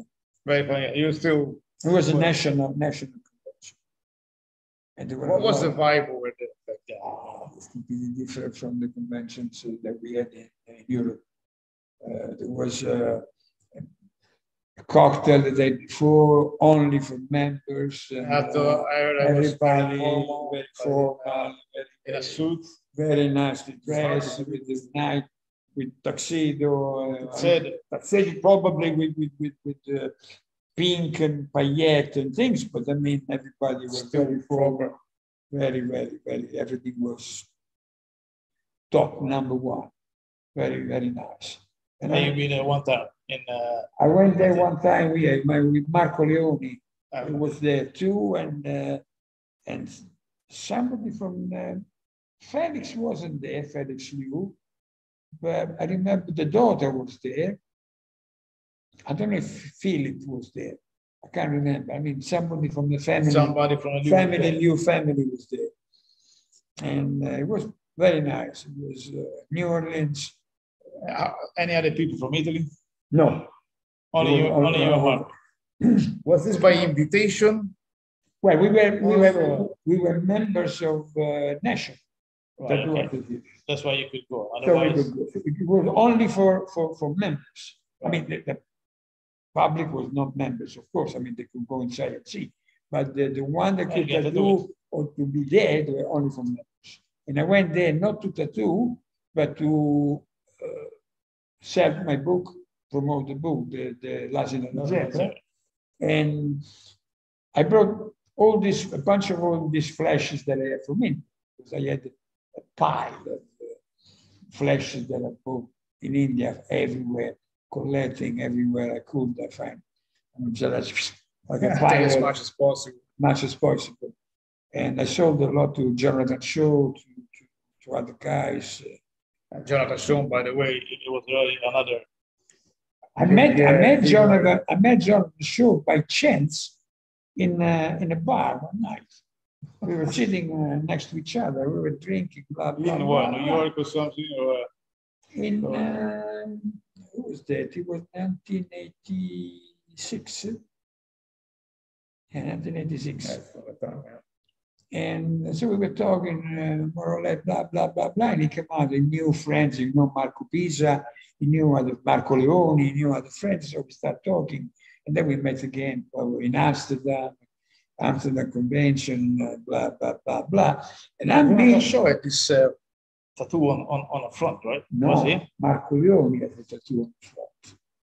I, I don't know if it's Jonathan Howe has a, Marco Leone had a name. Marco Leone had uh, two I wings. always, I always confuse those people. Because Marco when they were Leone- young, they look like similar, right? Marco Leone had two wings on his forehead that he made because he didn't want to go. was uh, John No. Shaw. No, he didn't want to go in the service, in the army. So he put these two big, big two wings on his uh, on his forehead, and he went to the the day for, for, for the check, for the health check to go in the service. They look at him and he said, "It's crazy. Yeah, it's crazy. So, The guy's get out. crazy. Get out of here." so Marco. For many years, Marco went around with the with the band on Ah, yeah, yeah, yeah, of course. yeah. because or he had hair in front of his uh, forehead. And so one day he came uh, and said, "Oh, I'm removing my my wings on uh, my forehead. How you do it? By laser in Amsterdam. Why? Well, I'm getting bald, so I better remove it." You Cannot cover them anymore. Marco's a good guy. Marco Leone is a great guy. I was, I was, I was, you know, like I always, I always been, I wasn't sure if it was like Marco, Jonathan, because when they were younger, It's Marco it was Marco. because they worked together like- in Brazil. I was looking at it, it's like, it doesn't happen anymore. So, you know, it's. you- They were they were working together in Brazil. That's Marco had this. Uh, I met Marco in India on his way to Brazil, and he Uh-huh. had this. Um, he had this machine for tattooing. I mean, his first machine was a machine for tattooing uh, uh, pigs and uh, cows, and it's like a machine. It's the same as That was his first machine. It was his first machine. To tattoo animals. Yeah.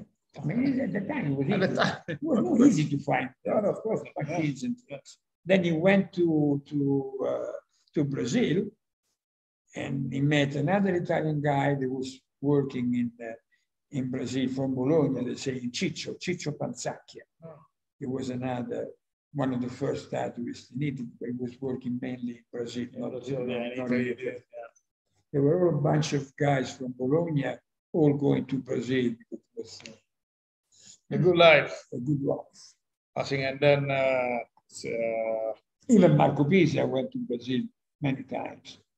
Marco Pisa, and then we also have, uh, and Lauro Paolini also, which, well, but this was Lauro after. Paolini after. After, Laura a lot of time. they are, are, let's say, they are, all of them are a- second, second, third generation of Italian tattooists.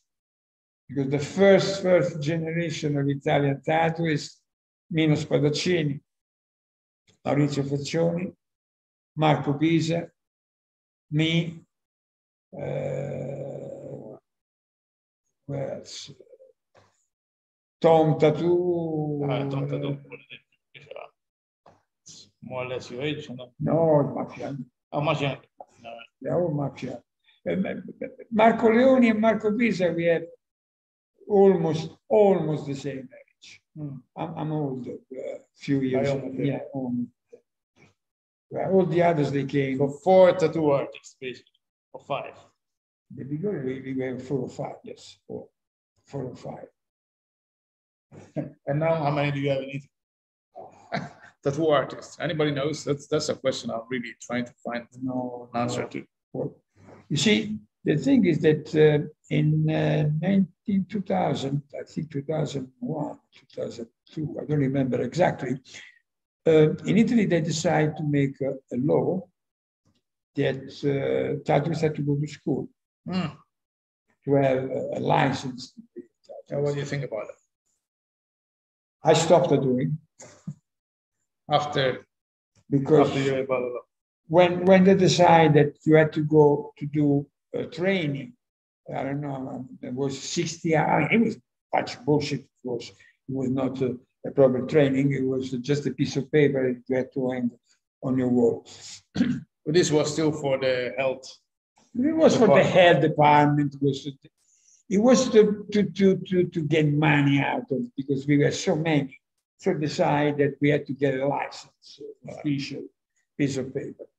So when I decided we had to make the official paper, I said, uh, okay, thank you very much. The spirit of the tattooing. I'm over. It's gone. It's gone. And I decided to, to stop. For, for many years, I was completely out of the world of tattooing.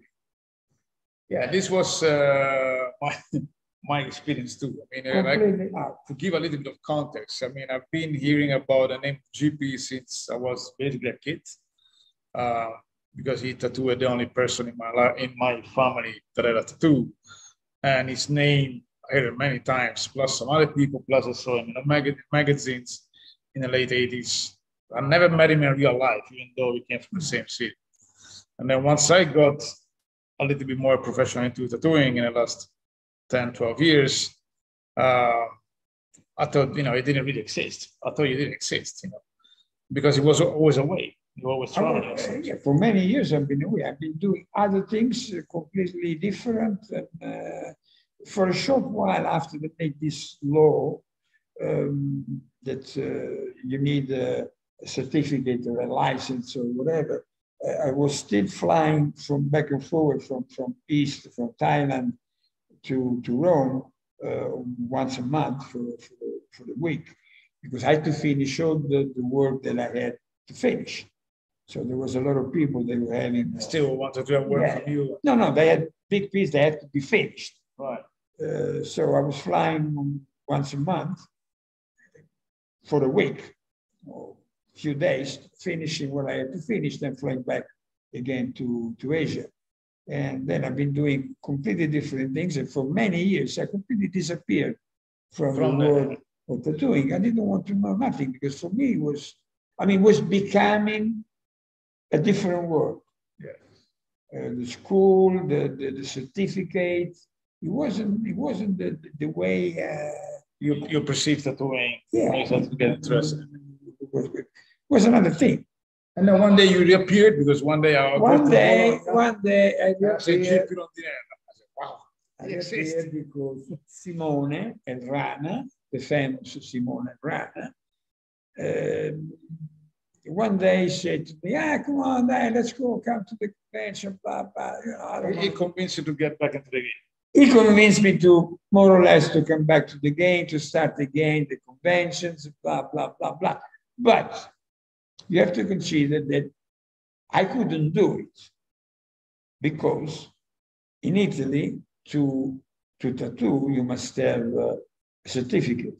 I mean, you have to go to a school, a school, school, and get an exam and uh, blah blah, and then they give you a piece of paper you stick up in your on your wall, and um, you are entitled to tattoo. So now I don't know how many thousand tattoo artists that are. So officially, which should be an illegal tattoo in Italy now? I'm still illegal tattooist in Italy. Legal. I think that me, me, Marco Pisa, and Marco Leoni, we are still illegal. But is it not some kind of honoris causa, you know, paper? No. You know, for example, like in Japan, you know, you gotta be a doctor to tattooing. I mean, this this regulation has been on and off yeah. for the last few years. Uh, but the people which have been there like forever, like Yoshi and a few others, they somehow still Oh, well, I don't know. I never, I never get interested in it. You know, I don't, uh, I don't care. Uh, I don't say I don't give a shit, but I don't care about it. You know? I don't really care. Uh, I've done my job. Uh, I still do it. No, what, what I'm saying is, like in Italy, they don't have like a similar regulation that if you're no. well, 40 years, you know, you, you still problem, need a piece of paper to recognize you can do. Or... In Italy, probably, I mean, they made it. I mean, they made the regulation because they they realized that there were so many. There was a, a, a new thing coming up, and in our, my country, I'm sorry to say it, uh, the government and the, the, the, the, mayors of the city and all the establishment, uh, as soon as they can get money somewhere, they, they jump in it. Yeah, probably almost everywhere. So they decided years ago, quite a few years ago, that uh, the people that uh, were tattooing, they had to go to school and do a training. It was absolutely nothing. But they had to go do a training for a few weeks, uh, blah, blah, blah, blah, blah, blah. Oh, so I didn't agree with this because for me, tattooing was a different story, a different thing. And uh, so I said, okay, raise up my hand, you do it, I don't care. Uh, so they went on and on. And now I think they in Italy, probably there are some more than, I don't know how many thousand certified tattooists in the country. Somebody's working, somebody's not working. I mean, and on a legal level, they're entitled to tattoo and you don't. Exactly. On, on when I when I work level. when I work in Italy, officially, I'm still in illegal. Well, that's a beauty of tattooing somehow a little, a little bit. I, am still illegal. When I go to conventions, I go there. They invite me to go. To, I very rarely go to conventions now. Which one is the next one you're going? Uh, probably Amsterdam. Amsterdam to do convention. Yeah. September. September. But when I'm in Italy, I, uh, uh, I don't. I don't even keep too much in touch with the, these convention things. But they invite me recently to, to go to somewhere. But I don't know. I'm, uh, I don't fit myself anymore into this uh, this trade in a way, to this world because it's too different from, uh, from my world. Even the way of tattooing, the way of the, what they have on, on this, uh, I don't know, not my world anymore. I just do it for pleasure because I like to do it, but I'm not that much into it.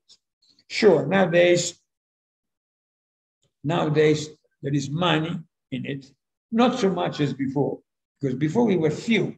So, so there was money very easy to make money. Now, even the, the money you went down, but it's not a question of money. It's a question that is not, it's not my world anymore. It's different. Oh, Before we went, things change. When we were in a convention, we were all friends. We all meet each other after the convention, all drinking each other, eating, having fun. Nowadays, you go to a convention, you don't know anybody. Everybody is in, is in his stand, looking the others is working more than me, and uh, not my way. I remember like even uh, Marco Leone was saying, I mean, he organizes commercial, yeah. he's been doing for a long time. He told me, yeah, I go to a commercial, I don't know anyone. he's the organizer, has been, and has been around uh, like forever, like you. It's uh, So now to go, to, to go to a convention sometime in, in Italy is, a, ah, master, can we make a picture together? I'm not a master of anybody, you know? okay, let's make a picture together. What for?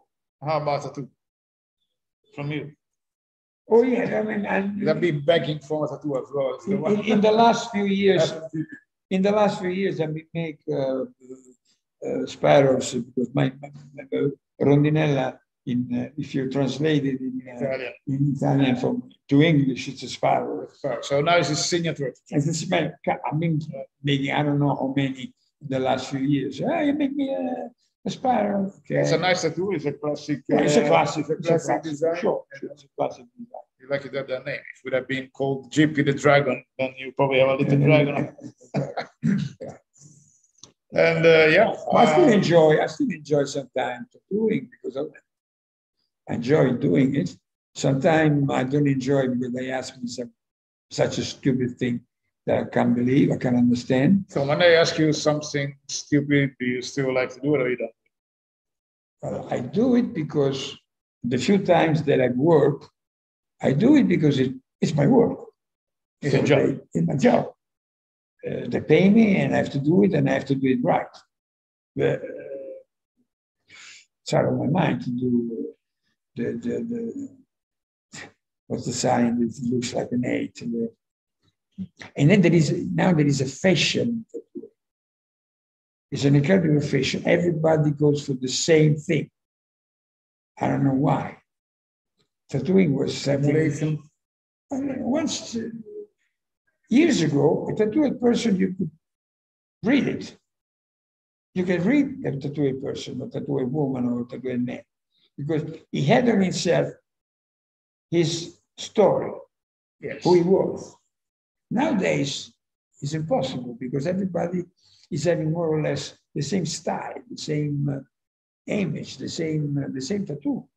So I think there was a, a lady a few years ago in a convention in uh, Sardinia, and Marta. I said, Marta, how are you doing? I'm boring. I have to do another um, uh, an image of uh, one Greek, portrait, uh, a portrait of a Greek. Uh, oh, yeah. It's the seventh. It's the seventh that I make. I'm so boring because everybody went for this old man with his beard and his hair, you know. Oh yeah, like and the Greek very, uh, mythologic, yeah. mythologic uh, hero, and she's very good at it. It's the seventh. I'm so boring. It's the seventh that I make. Well, if you make something really well as a tattooer, then some other people will probably ask for it. You know, if they see a cool tattoo, they're like, "Hey, I want to have something like that." You know, yeah, I mean, something should be personal. Very personal. In the old days, it was more personal. I mean, tattoo, it has to remind you something. I mean, each tattoo I have on me, it reminds me somebody or a place, a story.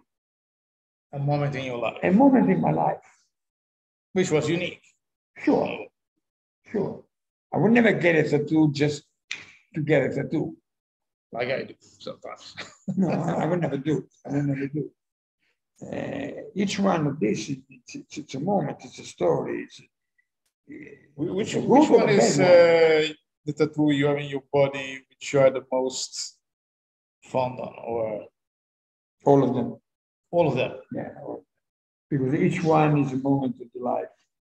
Cool. That's that's that's that's a great that's a great thing. I mean, Maybe, probably there are a couple of them that are not a moment of the life, but it's the the moment I met somebody uh, in my life that was, uh, example, the one that I have here, it's not a moment of my life.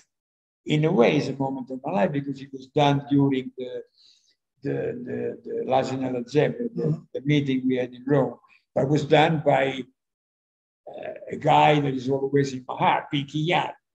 There is uh, Pinky Yun is a is a master of uh, Chinese tattooing. So I have it. That was the guy from uh, from uh, well, he, he, was working in Hong Kong for a long time, and then he was working in uh, in America for for, for a long time too. Pinky Yun. Big flashes all over the world. These flashes. I think I met I met him once only. I think. Um, He's one of one of the tattooists of Hong Kong that has been putting his hands on uh, on hundreds and hundreds of GIs during the, the Vietnam War. Because they were going during the Vietnam War, they were going uh, uh, all over uh, all over the world in Japan and uh, China, Hong Kong, in Rome um, for, for, for vacation. After the duty shift on duty, they were going on vacation. And uh, so they were getting probably tattoo here and there. And he's been tattooing hundreds and hundreds of GIs from the Vietnam, from the Vietnam War. And is the guy still alive? No, no, he died. He, he, died a few years ago. He died few years ago. he probably has his own story, though. I mean, uh, if, you know, he probably has been tattooing in a, in a nice. Not very, is not very known. Um, Ed Hardy was a very good friend with him, uh, but it's not very known in the world of tattooing because these Chinese uh, tattooists, they were, you know, very few at the time. Very few at the time. Uh, Ricky Lo and a few other from uh, from Dragon uh, Dragon Studio. And a few years ago, I went to with Kubo. Mm uh, as the owner of the tattoo museum the beautiful tattoo museum, museum in Rome. Go visit it if you can. Very, very nice. We went to France to get uh, a part of the collection of uh, Chris, Chris Wroblewski. Mm-hmm. that is uh, an English photographer, and he made quite a few publication, uh, uh, photograph publication years back, and now he stopped already to, to do this job. I mean, it's not anymore in the tattoo world. And he had this, he had in his house a big collection from uh, um, Hong Kong tattoo shop. So together with uh, Kubo, uh, we went to, to France, in his house in France, to get the collection that now is in, is in Rome. Part is in Rome, part is in, uh, in Amsterdam. Is it is it on display now? In Rome, is on display, yeah. And in Amsterdam, I don't know if uh, they put it on display or not. I don't know. So we went to get to get uh, this large collection from the Chinese, from a Chinese uh, tattooist. But there were very few. Only at the time going to Hong Kong, there were the GIs uh, during the Vietnam yeah, War. Yeah. Uh, because traveling at the time was not so easy. I mean, it was expensive. It was, uh, even even when, when I went to India the first time, I went to India overland. By car? Yeah, overland, car, train, no, no, flying. I went to overland quite a few times. As a trip from Italy to uh, India. It was a long car. way. Yeah, how, how long did it take you to first time? 43 days. That's a road trip. Yes, That's it was a road trip. 43 days. Yeah, it was nice stopping here and there, Istanbul, Tehran, Mashhad, Kabul, Herat, Rawalpindi, you know, slowly, slowly, Kathmandu. Zip is my my travel hero. I mean, uh, to me, uh, he embodies the combination between a traveler and a tattooer and the exotic life of a tattooer. Well, if I hear all your stories. In the old days, in the old days, uh, we used to go around and uh, it was nice to go around to meet people, to, to see different things. Uh, tattooing in Kathmandu, tattooing in uh, these three tattoos that I have. I made it in Kathmandu in 1970 in the street. As well. With hygienical situation, I won't describe it. Absolutely, I won't describe it. But then again, I mean, you know, like it's it's all kind of experiences which are pretty much unique. I mean, it's hard to so, do anything like this. This, this bird. And you didn't get any hepatitis on the street and stuff like this. Like. Well, I was bloody lucky. Very lucky. Very. This this bird here, I got it in the red light district of Bombay. On the street? On the street. I mean, more or less on the street. Yeah, like a no, no, no. It was not. It's not proper on the street. It was a kind of uh, army and navy tattoo parlor. I was a little tattoo shop. It was a little tattoo in shop Bombay. in Bombay. It was just uh, outside. Uh, in a red light district of Bombay. In a red district of Bombay, just outside a dentist. Imagine. Imagine there was this guy having a little space uh, outside in Bombay. Many years ago, there was a, a tattoo artist outside at the entrance of uh, a public toilet, hanging his, his uh, sheets outside a public toilet. I mean, tattooing in India was dramatic. It was really dramatic. It's, uh, yeah. 1970, 71, 72. I give before I give you some pictures of, uh, of a guy that he showed me one of my first Indian machine in Goa, Soma. Yeah. Uh, Soma is well known because even uh, Felix and Filip he, he remade some designs of Soma. So there was this guy in, uh, in Goa uh, on the floor in Goa with an umbrella. He was practically blind and he was tattooing and he was blind. But he knew how to do a tattoo even if he was almost blind. how, how did he do it? Uh, I don't know how I have no idea. I have no idea. This is, this is one of the stories that. and I remember he showed me he, he showed me uh, his, uh, his box with his couple of his machines. Now these boxes are in uh, Marco Pisa collection.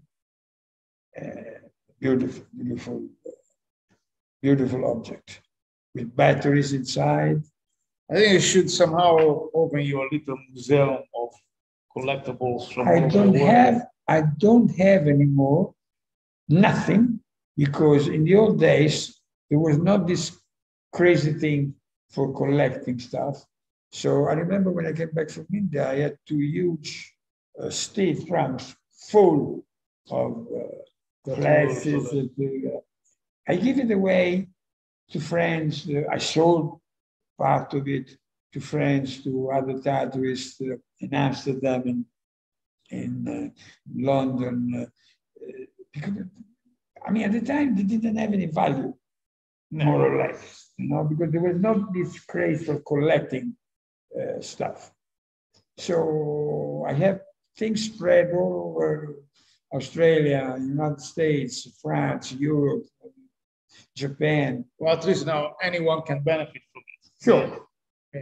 It's Sure. not only in your hands, but No, no, it's not in my it's in the hands, but something I don't really like is that many of these things that are in those collections, there is not, uh, thanks to a credit to you. A credit, because anytime I give, I do something, I give credit to other people. Of course. But I have to say, and I'm sorry for it, that uh, there is this stupid attitude. When you have it in your collection, it's like yours. It's yours because if you find it, it's yours. If somebody gave it to you, you should say thanks to. I mean, that's my that's- that's my attitude. Yes. Well, that's fair. It's common sense too. You know. That's my attitude. Anytime I go around, like in in Burma or recently, I went to Burma, I bought things and I gave it to Marco, uh, to some other guy, the one that I gave to you, the little thing. I'm going for Burma. Yeah. You know, but my, my attitude is when I get something from somebody, is to give uh, uh, recognition to them, thanks to. Because he find it, I have it, it's mine, but he found it. But now there is very, very little recognition. And then it's fucks me up. I don't like it. No, I understand it. I mean, And yeah. that's- probably in the old days, it was a little bit more, um, Yeah. yeah, the Tatris was a, a little bit more like a, a tight family, Yes. a little bit more. Uh, nowadays, nobody cares. And that's not very nice. But it's okay. Yeah, I mean, it's it's. I think it's uh, in the. It's a situation where you have too much of everything, then maybe people tend to lose focus on what really matters. Maybe it's Uh, well, well, you see, for a few things, I'm, I'm very modern. For a few other things, I'm an old-fashioned guy. Old school. Old-fashioned. Old, old, old fashioned. Old-fashioned. No, because I'm not an old school, because I've not- never been doing old school tattooing. Right. But I'm old fashioned, um, uh, even for, I mean, I'm not that young anymore. But um, I think that uh, people should be more, uh, more careful about this, you know? Well, some respect. I mean, you know, Respect, exactly, it be at the respect, core of. Uh, respect. In the old days, in the old days, there was more respect. I remember uh, in England sometime uh, in the old, this old, old English guy, they were uh, not fighting, but arguing uh, between them because they had, pro- ah, no, you did this, that," especially after a few beers, of course. But there was more, more respect for each other. Nowadays, there is more uh, to be seen, self, self, selfishness, exactly. And respect is forgotten. I mean, uh, I see a lot of time my things on books on um, on, on display, uh, but no credits. no credit. And this is, well, I don't know. I mean, normally when I do something and I have something from somebody, I give credit because I think it's uh, it's fair to do it. But it's the changing of times.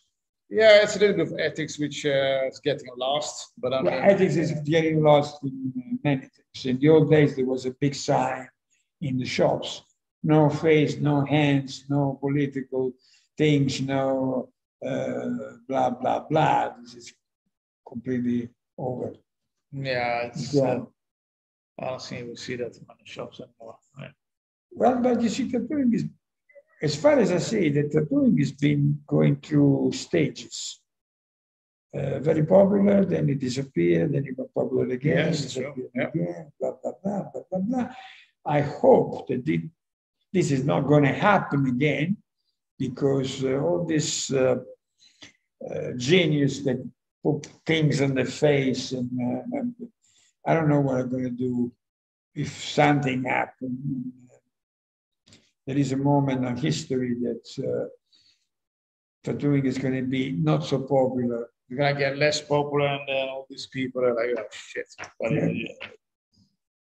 Putting tattoos, a lots of tattoos on his face, or you are a, a freak that work in the circus, Yeah, well, there's many of them. or you are very rich that you don't have to bother for the rest of your life. But once you cover your face with tattoos, in your hands and all your body, then you complain that you don't find a job. What the hell are you going to do? That's a problem. I, but I'm a tattooist, okay, but if you close your hand in, uh, in the car, You lose an eye or no, no, you, you, now you, you, you break your hand Break your hand, in, in, in the car, you close the car door and your hand is inside. You can use your hand anymore. What you do? If you got completely covered. I don't know. I'm probably I'm a, in a way. I'm, Do something else in tattooing, maybe not an artist, but maybe. if you can do it, if you know how to do it. Can do it. Probably in- a way, I'm an old-fashioned guy. In a way. There's nothing wrong with that. I mean, No, no, no, no. I, I- I don't care. I don't care. I'm, that's fine for me. That's fine for me. No way. But still is uh, an incredible, incredible thing. I mean, tattooing, if you can imagine it, you find that in, in Italy, a few years ago, they found this uh, mummy from uh, in the- Ötzi. Ötzi, from the border between Italy and uh, and Switzerland. Said it was Swiss, and it was Italian anyway. And this mummy is incredible because uh, he has tattoos, and they discovered that the spots and the small sign that he has is where he had arthritis. yes. So the So speculation was. that means that over 3,000 years ago, hmm. I'm sorry, I'm running out of battery. I gotta just give me one sec. Gotta put some battery on. Sorry, guys. oh,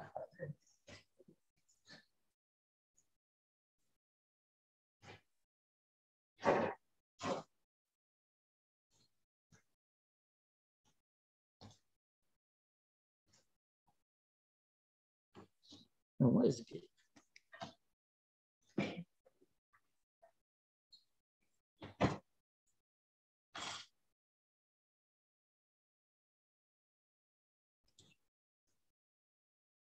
So going back to Ötzi, where where he, uh, where he had arthritis, and he put tattoos on his point where he had the arthritis. So it was like a, kind of a medical sort of things. Yes, I, I heard a story. I was, Yeah. I'm quite familiar with that. And uh, so, you know, this also comes down to the fact that in many cultures, tattooing was related to health and medical, Shamanic, Shamanic- shamanic way. way. which, which was probably the same in several imagine that the, the, the mummy that you find in uh, Altai in Russia, was this uh, sheet, a Scythian uh, a warrior with all these tattoos that he was buried under the, the, the, the ice they find in. uh, I mean, tattooing has an incredible, uh, history. incredible history. Yeah, right now I think it's just another moment in time where I have this phase of extreme boom of tattooing. It is an extreme boom on tattooing because it's an extreme boom of uh, showing off. Yes, in a way. in a way, yeah. I mean, And- right now, and, and, and tattooing became uh, social accepted. that makes a Before, big difference. years ago, was not social accepted. Because I remember in, in, in the 70s, uh, having a tattoo, the people were looking at you, I mean, especially in Italy, it was only for convicts, it was not for regular people. Even when I was just a kid, I mean, which is not so long ago, I didn't know anyone with tattoos. They were- Exactly. They were not really. Even in, even in, in in the States, uh, where tattooing is very popular, in the old days, tattooing was for, for, for uh, bikers, for Still for a few people. criminals, for uh, army men, lower class army men, and uh, circus people, people that works in the circus for freaks, and then, I mean, it was not so Not for the regular folks. not for the regular, folks, not not at all, not at all. This is how much the word shapes.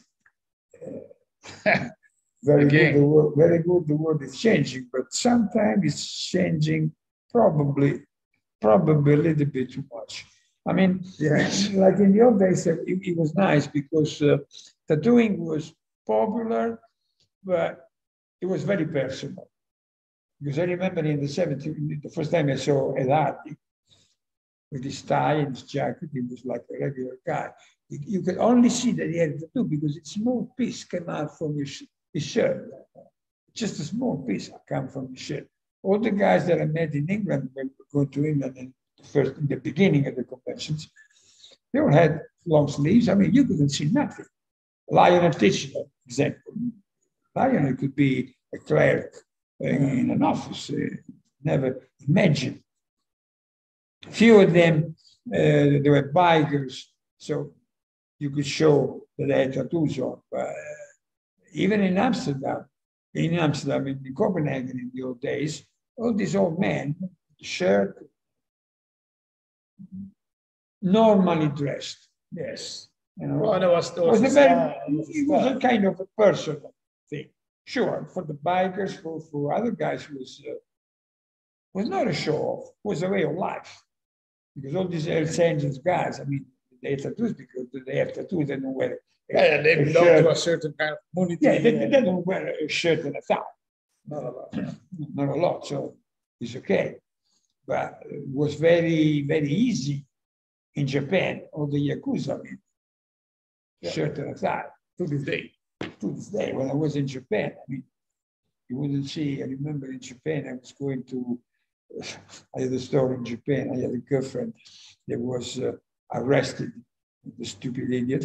And so I went to Japan for two months to, to time to take her out from jail, blah, blah, blah. Long story. And uh, I was going to the prison every day to, to talk with her. Because there in Japan, you can go every day if you want to to talk with the with the prisoner, and it was fun. And there was all these yakuza guys standing there waiting for the wives to come back from uh, from the parlour, from having a conversation with the husband. And all of them, I could see from the shirt that a different color, the white shirt, a little bit dark Yeah. inside. Uh, with this all uh, Oyabun, all in white, uh, with glasses. Uh, it was it's very funny, but nobody could see them because even for Yakuza, it was uh, covered completely. Nobody know. You know, you have to keep like a proper Yeah, appearance. proper appearance. and, nowadays, it's more uh, pa, pa. Different times. different time. Different Okay, times. different time. I, I hope they won't regret it. I hope Yes. regret it. Oh yeah, I mean, you know, like most people getting tattoos, you know, like they're supposed to be adults, you know, they should be responsible for their actions. The problem is that most people getting tattoos today, they're not adults. Um, yeah, a little bit, yeah. I mean, And why, That- that's the why, why it became, why it became, unfortunately, uh, in a way, kind of a fashion, even younger ones are getting used to it or getting near to it, and they do it in the wrong way. well, they're growing up with that. I mean, they almost don't know anything else. I mean, if you are like 15 years old now, that that's almost all you know. You haven't seen another reality. So Yeah, for them, it's absolutely normal. for Like, them, it's absolutely normal. But for me, it's not normal to get a tattoo on the face. No, no. I mean, it's Because- it's, it's not normal. Because society, a large part of the society is still very conservative. It's very still very conservative. Until a few years ago, if you had a tattoo that could show, you couldn't work in a bank, you couldn't go work in a, for an airline, you couldn't work for, for, for, for many things. No way. Yeah, but I mean, now even in, in, in as far as I can see, like in, in most professions, doing, I mean, whatever you're like a doctor, a lawyer, or you know, like an engineer or something. Yeah, but someone. in normally, normally they, they, they tattoo, they, they conceal their tattoo. they conceal I mean, I've been tattooing doctors, for okay? yourself. So Sure. But they were so intelligent not to put a tattoo on the face. Right. Well, yeah, that's a Because different. there are some, some uh, professions where they're still very conservative. Very conservative. yeah, anyone facing public, and especially at a certain level. Should be, I mean, public is, is a different story. Is It's also the fact I that don't know, at least I- I'm talking, I'm talking for, for Italy. Okay? Uh, we are a little bit more conservative. Um, other countries, England, uh, Holland, uh, United States, are a little bit more free, a little bit more. Yeah, there, there are more free, there are barriers over there too, but I mean, it's, uh, uh, yeah, the, the, the, for some jobs, it's, it's these days, you know, it's, it's probably okay. well, we, we have we have a moral in, in my country. We have a moral. We still still today. If there is someone that look at you like, you know, in the old days it was impossible. The old days, went out with. I remember when I had my first tattoo. It was the Om sign, the sun, and another this other sign in Kathmandu. Eh, I went back to Rome. People they would look at me like, uh, "Oh my God, What did you do to yourself? what did you do to yourself?" You went all the way to Kathmandu. And when I went to when I went to to, to my interview for the airlines, uh, the guy that was the doctor that was doing the, the medical check, he asked me, "Have you been in the paratrooper?" No. Ah, have you been in jail? No. So why do you have tattoos? And I didn't have that much. Yeah? I had almost nothing. You had to explain why you had, I had to explain why I had which wouldn't, it wouldn't be a normal question now. No, that would be just a regular thing to, to do. But at the time was, uh, are you being in the army? No. Uh, why do you been in jail? No. Why you have to do? I like them. Ah, okay. Well, I- at least it was his pass. No, but he was Um, a smart. He was he was a smart guy. He was a smart guy. He was fun. It was it was incredible because the first thing he did when I arrived, I arrived in this room and he was there. So um, it was a time where uh, it was uh, very uh, very often it was uh, Palestinians used to put bombs on planes in the seventies. So the first thing- time to fly. Yeah, I was. oh The first thing he did, I was sitting in a chair and he said, ah, could, you- could you hold this for me, please? And he gave me uh, an hand grenade. So I was standing there with this grenade in my hand, and he was looking something. He was pretending to look something in the in his uh, drawers. I said, "Hey, doctor, what should I wear to do this, this grenade?" Oh, no, no, give me, give me, give me, give me back. Thank you. Ah, do you know this is a grenade? Yes. Ah, well, ah, you've been in the army. No, I haven't been in the army. I didn't serve. I didn't serve in the army. Ah, and then he, started- he started asking me, ah, you didn't go in the army. So what is this? Ah, my God. So they were there, the idea, you know, like they will see you, see you, Yeah, army or criminal. army or criminal, more or less. There was it. There was it.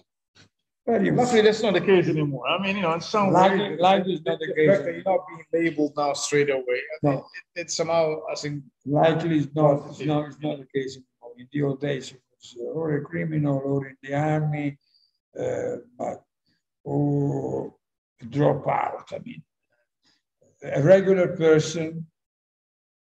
Don't I mean, this was for Italy. Spain, France, because Northern Europe was different. Mm. Because Northern Europe, they, I mean, Northern Europe, Holland, Denmark, and whatever, they had a, a lot of sailing, um, a long range sailing.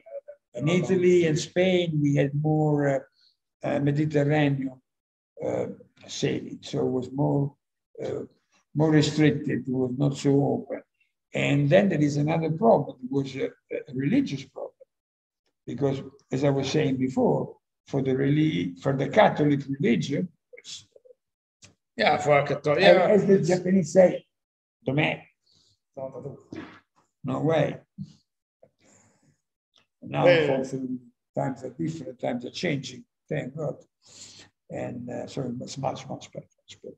At least we can, uh, how do you say, uh, leave tattooing, the world of tattooing with, in some ways, also somewhat freedom these days and sure. without you know being afraid of being judged and labeled.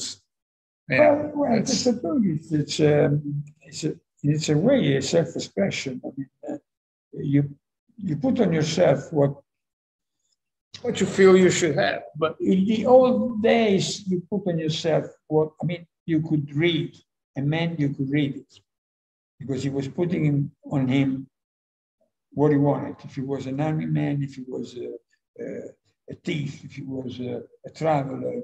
Nowadays, it's a little bit more confusing because uh, the, the tattooing world expanded so much. So now we went into an art form. So people is putting on on himself and tattoos are putting on the skin. They're painting. They're not tattooing anymore. And as I see it, this is my point of view. Uh, they are painting on skin. Yeah. And, very, and that's why I make this different. Personally, I make this difference. Tattooing is tattooing, and demographic is another thing. It's two different spirits. It's two different spirits. Tattooing, I recall tattooing still as something that you put on yourself, something because you want to remember something. You have to fix a moment of your life, of your story, of your love, of your hate, your dreams. Uh, making tattoo like they do today is a more an art form, it's more decoration. It's a it's a form of self-expression. I mean, you know, like some people they as you said, like I have the same thing. I collect stuff normally when when when I feel it's the right time, right sure. moment to get a tattoo with a, with, a, with a person I like, in a moment I like. Uh, and there is some other people which they they they simply just want to collect nice art that they think sure. they represent sure. themselves. Yeah. And I think in some ways that's also okay. I think everyone has his own reasons to. Anybody has his personal, his personal reason to do it, and it's a, it's a very nice thing. Uh, what personally I don't uh, recall it uh, uh, smart is when they do it just for fashion. Yeah, yeah, I absolutely agree. I mean, you shouldn't because, you shouldn't tattoo yourself because, because everyone I'm afraid, else is doing it. I'm afraid that in a few years' time, a lot of people is going to regret it. Well, yeah, because it's going to be a lot of work for laser. Yeah. in fact, in fact, now the, the, the latest trend is laser removal. Yes that it's, it's sometimes could be a disaster. It's not something I would uh, recommend. I mean, you know, you always have to keep in mind if you do a tattoo, you should keep it forever. Removing a tattoo is anyhow not really healthy for your body when the ink breaks down. Even because, down. Even, even, even because, I mean, the moment you put a tattoo you is the moment of your life, and then uh, you should remember it with, a with pleasure or, or, or, with sorrow, no, no matter but it's a moment of your life. And uh, even if you have a tattoo that you don't like or you do, uh, is, is a moment, it's been a moment of your life. So you should recall it as, uh, as your history, always. I find that very stupid if you get a tattoo uh, that has no meaning. For the sake of doing it. For the sake of doing it. And today, I think a lot of people, a lot of young people especially, they're getting a tattoo just to just to add, just to cover, just to be full. Because more you fool, more you you show, more you look. Well, I, I think like in, in my personal experience, it, get, it also gets a little bit addictive. Well, it, getting more that is collective. Yeah. It's collective. You get a collection for this artist, for that artist, yeah. for that artist. Yeah, yeah. So you become a collector. A collector. That's the other field. That, well. That's another field. Sure, sure. I know a lot of a lot of guys. I mean, a lot of friends. They're collectors. And uh, yeah, I, I, do consider myself, for example, my own person, sounds being a collector and somebody which collects stories as well. Sure. In between, you know, it's like I'm not really, you know, if I would do something just to show off, I'll probably do one huge piece in one style, like I do like a lot of here in Asia, Japanese style or Asian style, just one giant tattoo. A giant tattoo, yeah. yeah. but that, that's another, that's another, the bodysuit is another. That's another philosophy. Another philosophy, yeah, exactly. That's another philosophy. Um, but, but it's okay. For a few many years, you know, this Japanese work has been very popular. And it looks amazing. I mean, sure, so, sure. Yeah, but you, you, you must be very, very, very concerned about. I mean, it takes a long time, a lot of money, a lot of, uh, uh, it's a big effort, a lot of money, a lot of pain. I'm not going to that direction. It's too late already. So I messed up my body already.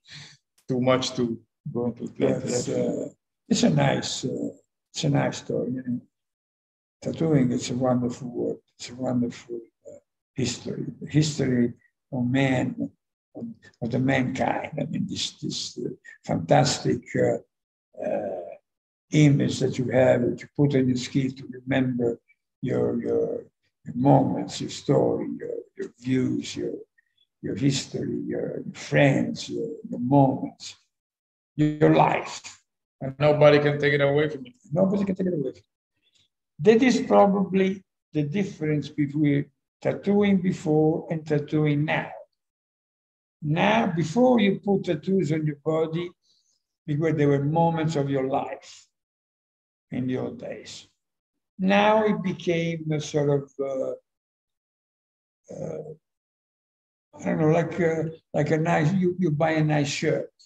Okay? Yeah, like, you put on the shirt a nice, un vezzo.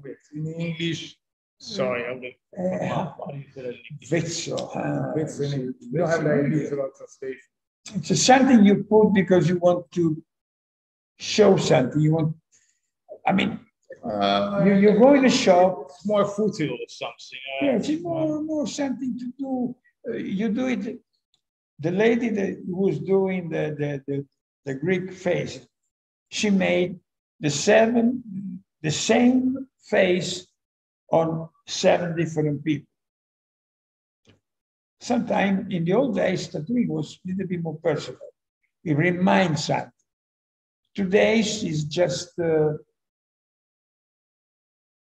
uh, an image that you put on yourself. Yeah, we know real meaning behind it. It doesn't have exactly. As I, this is the way I record it. Today, people put tattoos on themselves without a real meaning, without a reason. In the old days, you used to put a tattoo on you for a reason. Each one of these remind me something.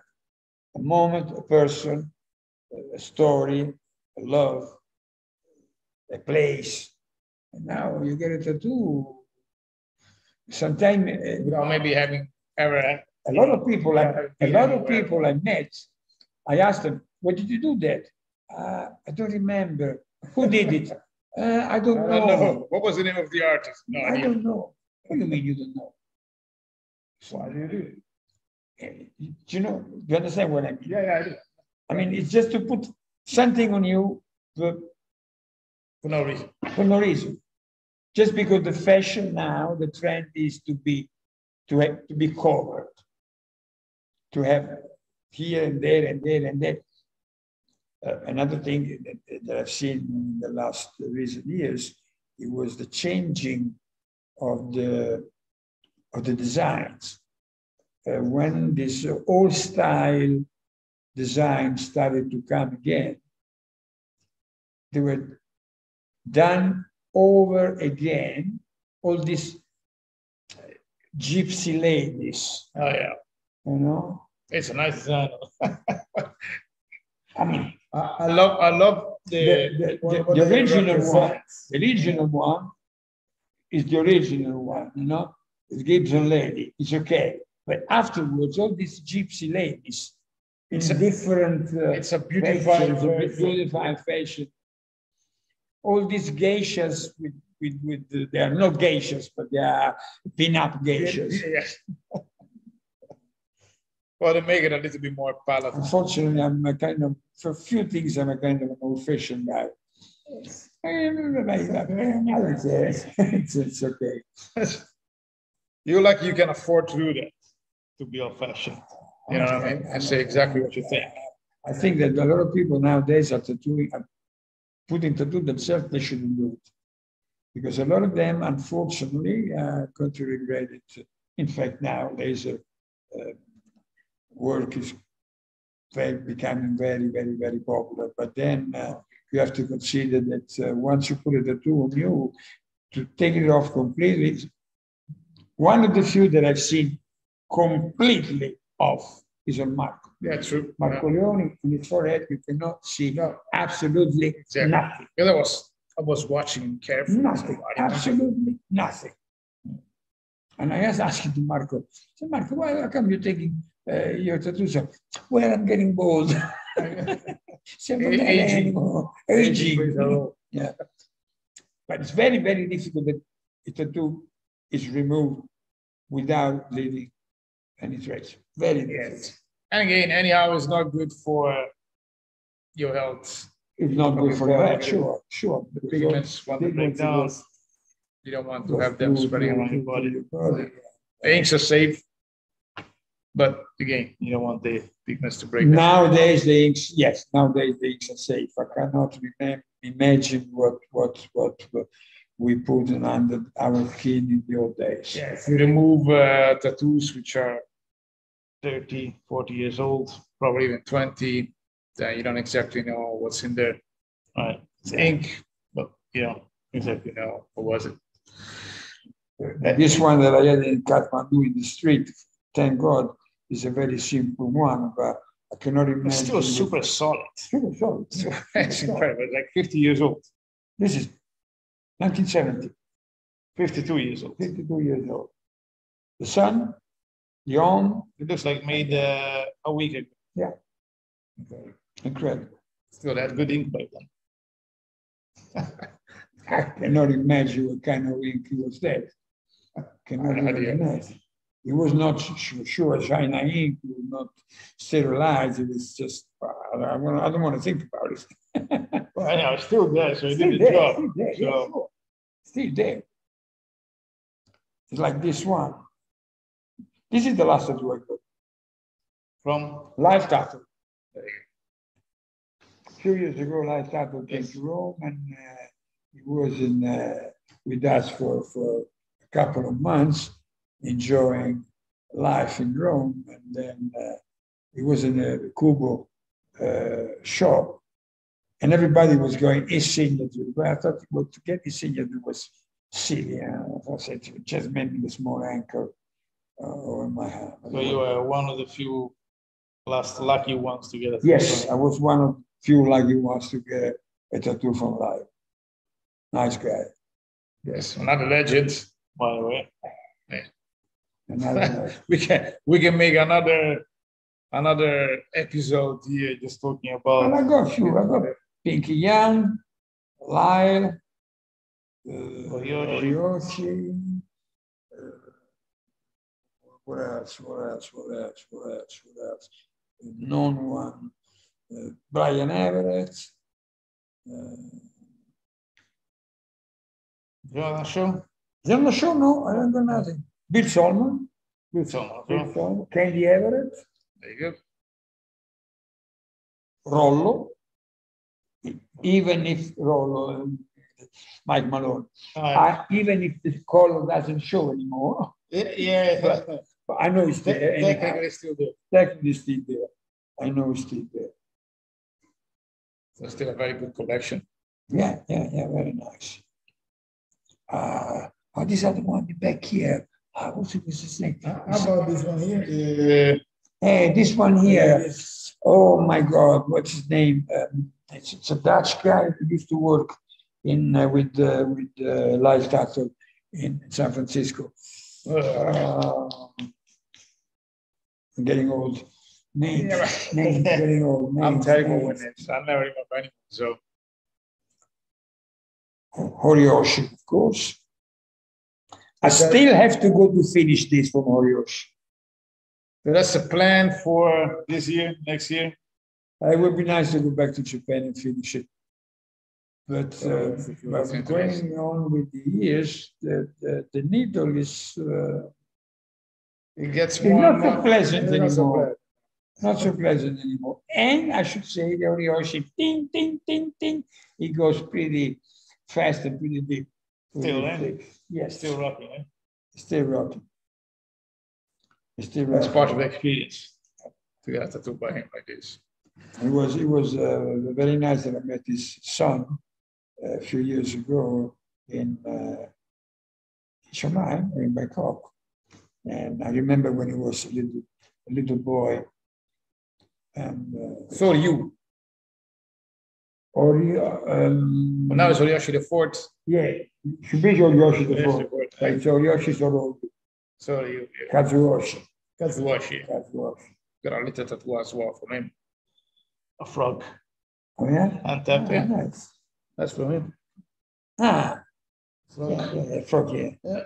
Kazuyoshi. And that's Singapore. Singapore tattoo. And Singapore, That's. Well, I couldn't get it from his father, but uh, like at least. No, in Singapore, I have two tattoo from the original Johnny Two Thumbs. Johnny Two Thumbs was a Nepalese guy. Another historical figure in tattooing Singapore. Johnny Two Thumbs. Oldest, oldest tattoo studio in He was- Singapore. he and was, uh, the oldest Singapore studio. He was in the back of a pen shop. It was a tiny, Right. tiny shop, and he was big, uh, big as the shop. You have one here, one here. Johnny Two Thumbs. He was a Nepalese guy. Nepalese, yeah. And he's one also of the oldest tattoo still on the planet. If I, if I, it's, it's in the top 10 oldest tattoo studio, in the, as far as I know, and it's still there. He was another another guy. He- I remember he had two boards, one for Westerners, one for Singaporean. And the. Singaporean couldn't get the same tattoo as the Westerner because for Singaporean, the the the eag- some eagles, some dragons, it would be that they belong to a different uh, uh, groups, Oh, mafia, I mean, kind of uh, local. Uh, You couldn't get some kind you couldn't get those kind of uh, those kind of tattoos. So those were only for foreigners. Fair enough. And he had this shop, he could fit him and the client. That's all. No That's what you, that's what you need like space. this. No other space. The same thing happened in the Jock, Jock tattoo shop in uh, tattoo studio in uh, in London. Jock was a huge guy. Huge guy and really tiny. Also Yes. him. One photo black, one red, one green. It's Vaseline and a machine. Him big like this, Three colors. three colors, and that was it. That was it. ancient time of tattooing. Every time to do it. Yeah. Yeah. Burchett, Burchett uh, was a, a better shop. It was big. Leslie Burchett was a bigger shop. Was no, not Leslie Burchett, the son of Burchett. Uh, George Leslie Burchett was the son of George Burchett. And he stayed in the shop of his father. That was a, a bigger shop, a proper shop. He made me this butterfly. There you go. I still do as well. Still pretty lived solid as well. uh, 1970. Wow. 1970. Oh, 50 years. Yeah. Incredible. And I remember the guy, when I went into the shop, he had a, a big passion on his head because he was complaining the day before somebody banging on the head not for not paying him. And he ran away. It was, uh, It was wild back then. I was, well, London was pretty white. Yeah, it was in the 70s, and all these rocks and modes. And, uh, it was fun. It was fun. Nice.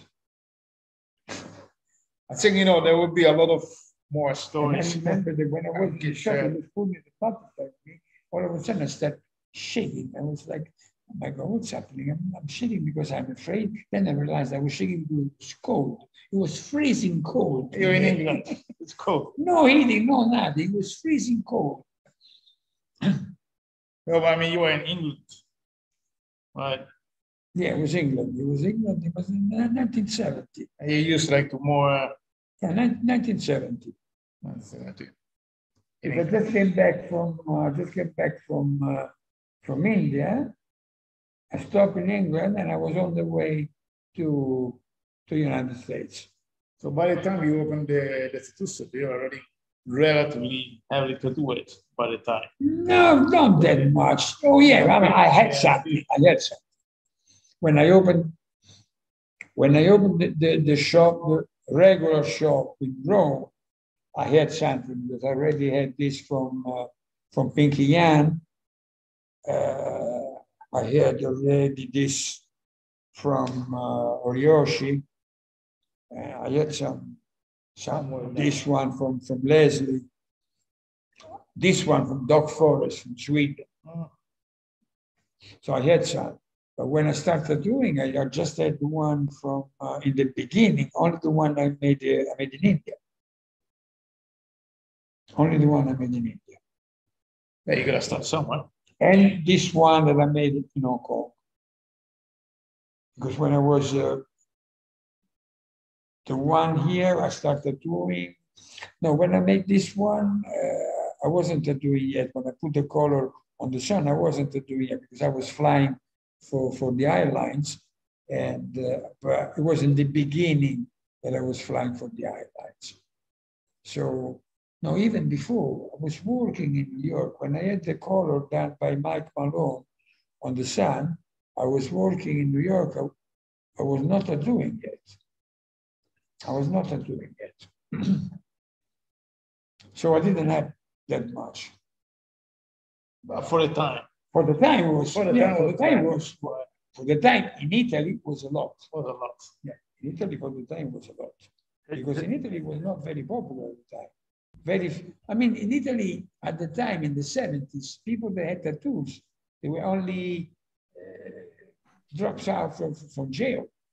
People that came out from jail. Yeah, yeah. I, I, Because there were no shops, no, nobody was to do. which I think I think it's Gabe. Gabe. Oh, uh, Alex, yes, we do have. This is amazing, but we do have another stream coming up. Yeah, no, I, I thought so. uh, yeah, so we'll uh, they have to do uh, like another streaming with another. Uh, Well, it was a pleasure to stay with you. yes, we're gonna see you, Gabe, a lot, but thank you for having us. And uh, Gippi, thank you for uh, for sharing all your stories. I mean, I think you know, Gippi has enough stories for at least ten other episodes or something. Well, it was a pleasure. It was a pleasure to be with you and uh, a big shout out to the tattoo world and to everybody that will see this. Yes. It was a pleasure to stay with you. Same here. Thank you, everyone. And um, yeah, thanks again, Jeep. And if you want to stay on top of the two conventions again, go visit worldtattooevents.com. With uh, tattoo convention is Here and there, is on here and and there. but uh, yeah, thanks again, everyone. And uh, Gabe, thank you. We'll uh, see you next time. This was Alex Van Dutch and Gippi Rondinella. Awesome. Thanks again, fellas. We'll talk soon. Cheers.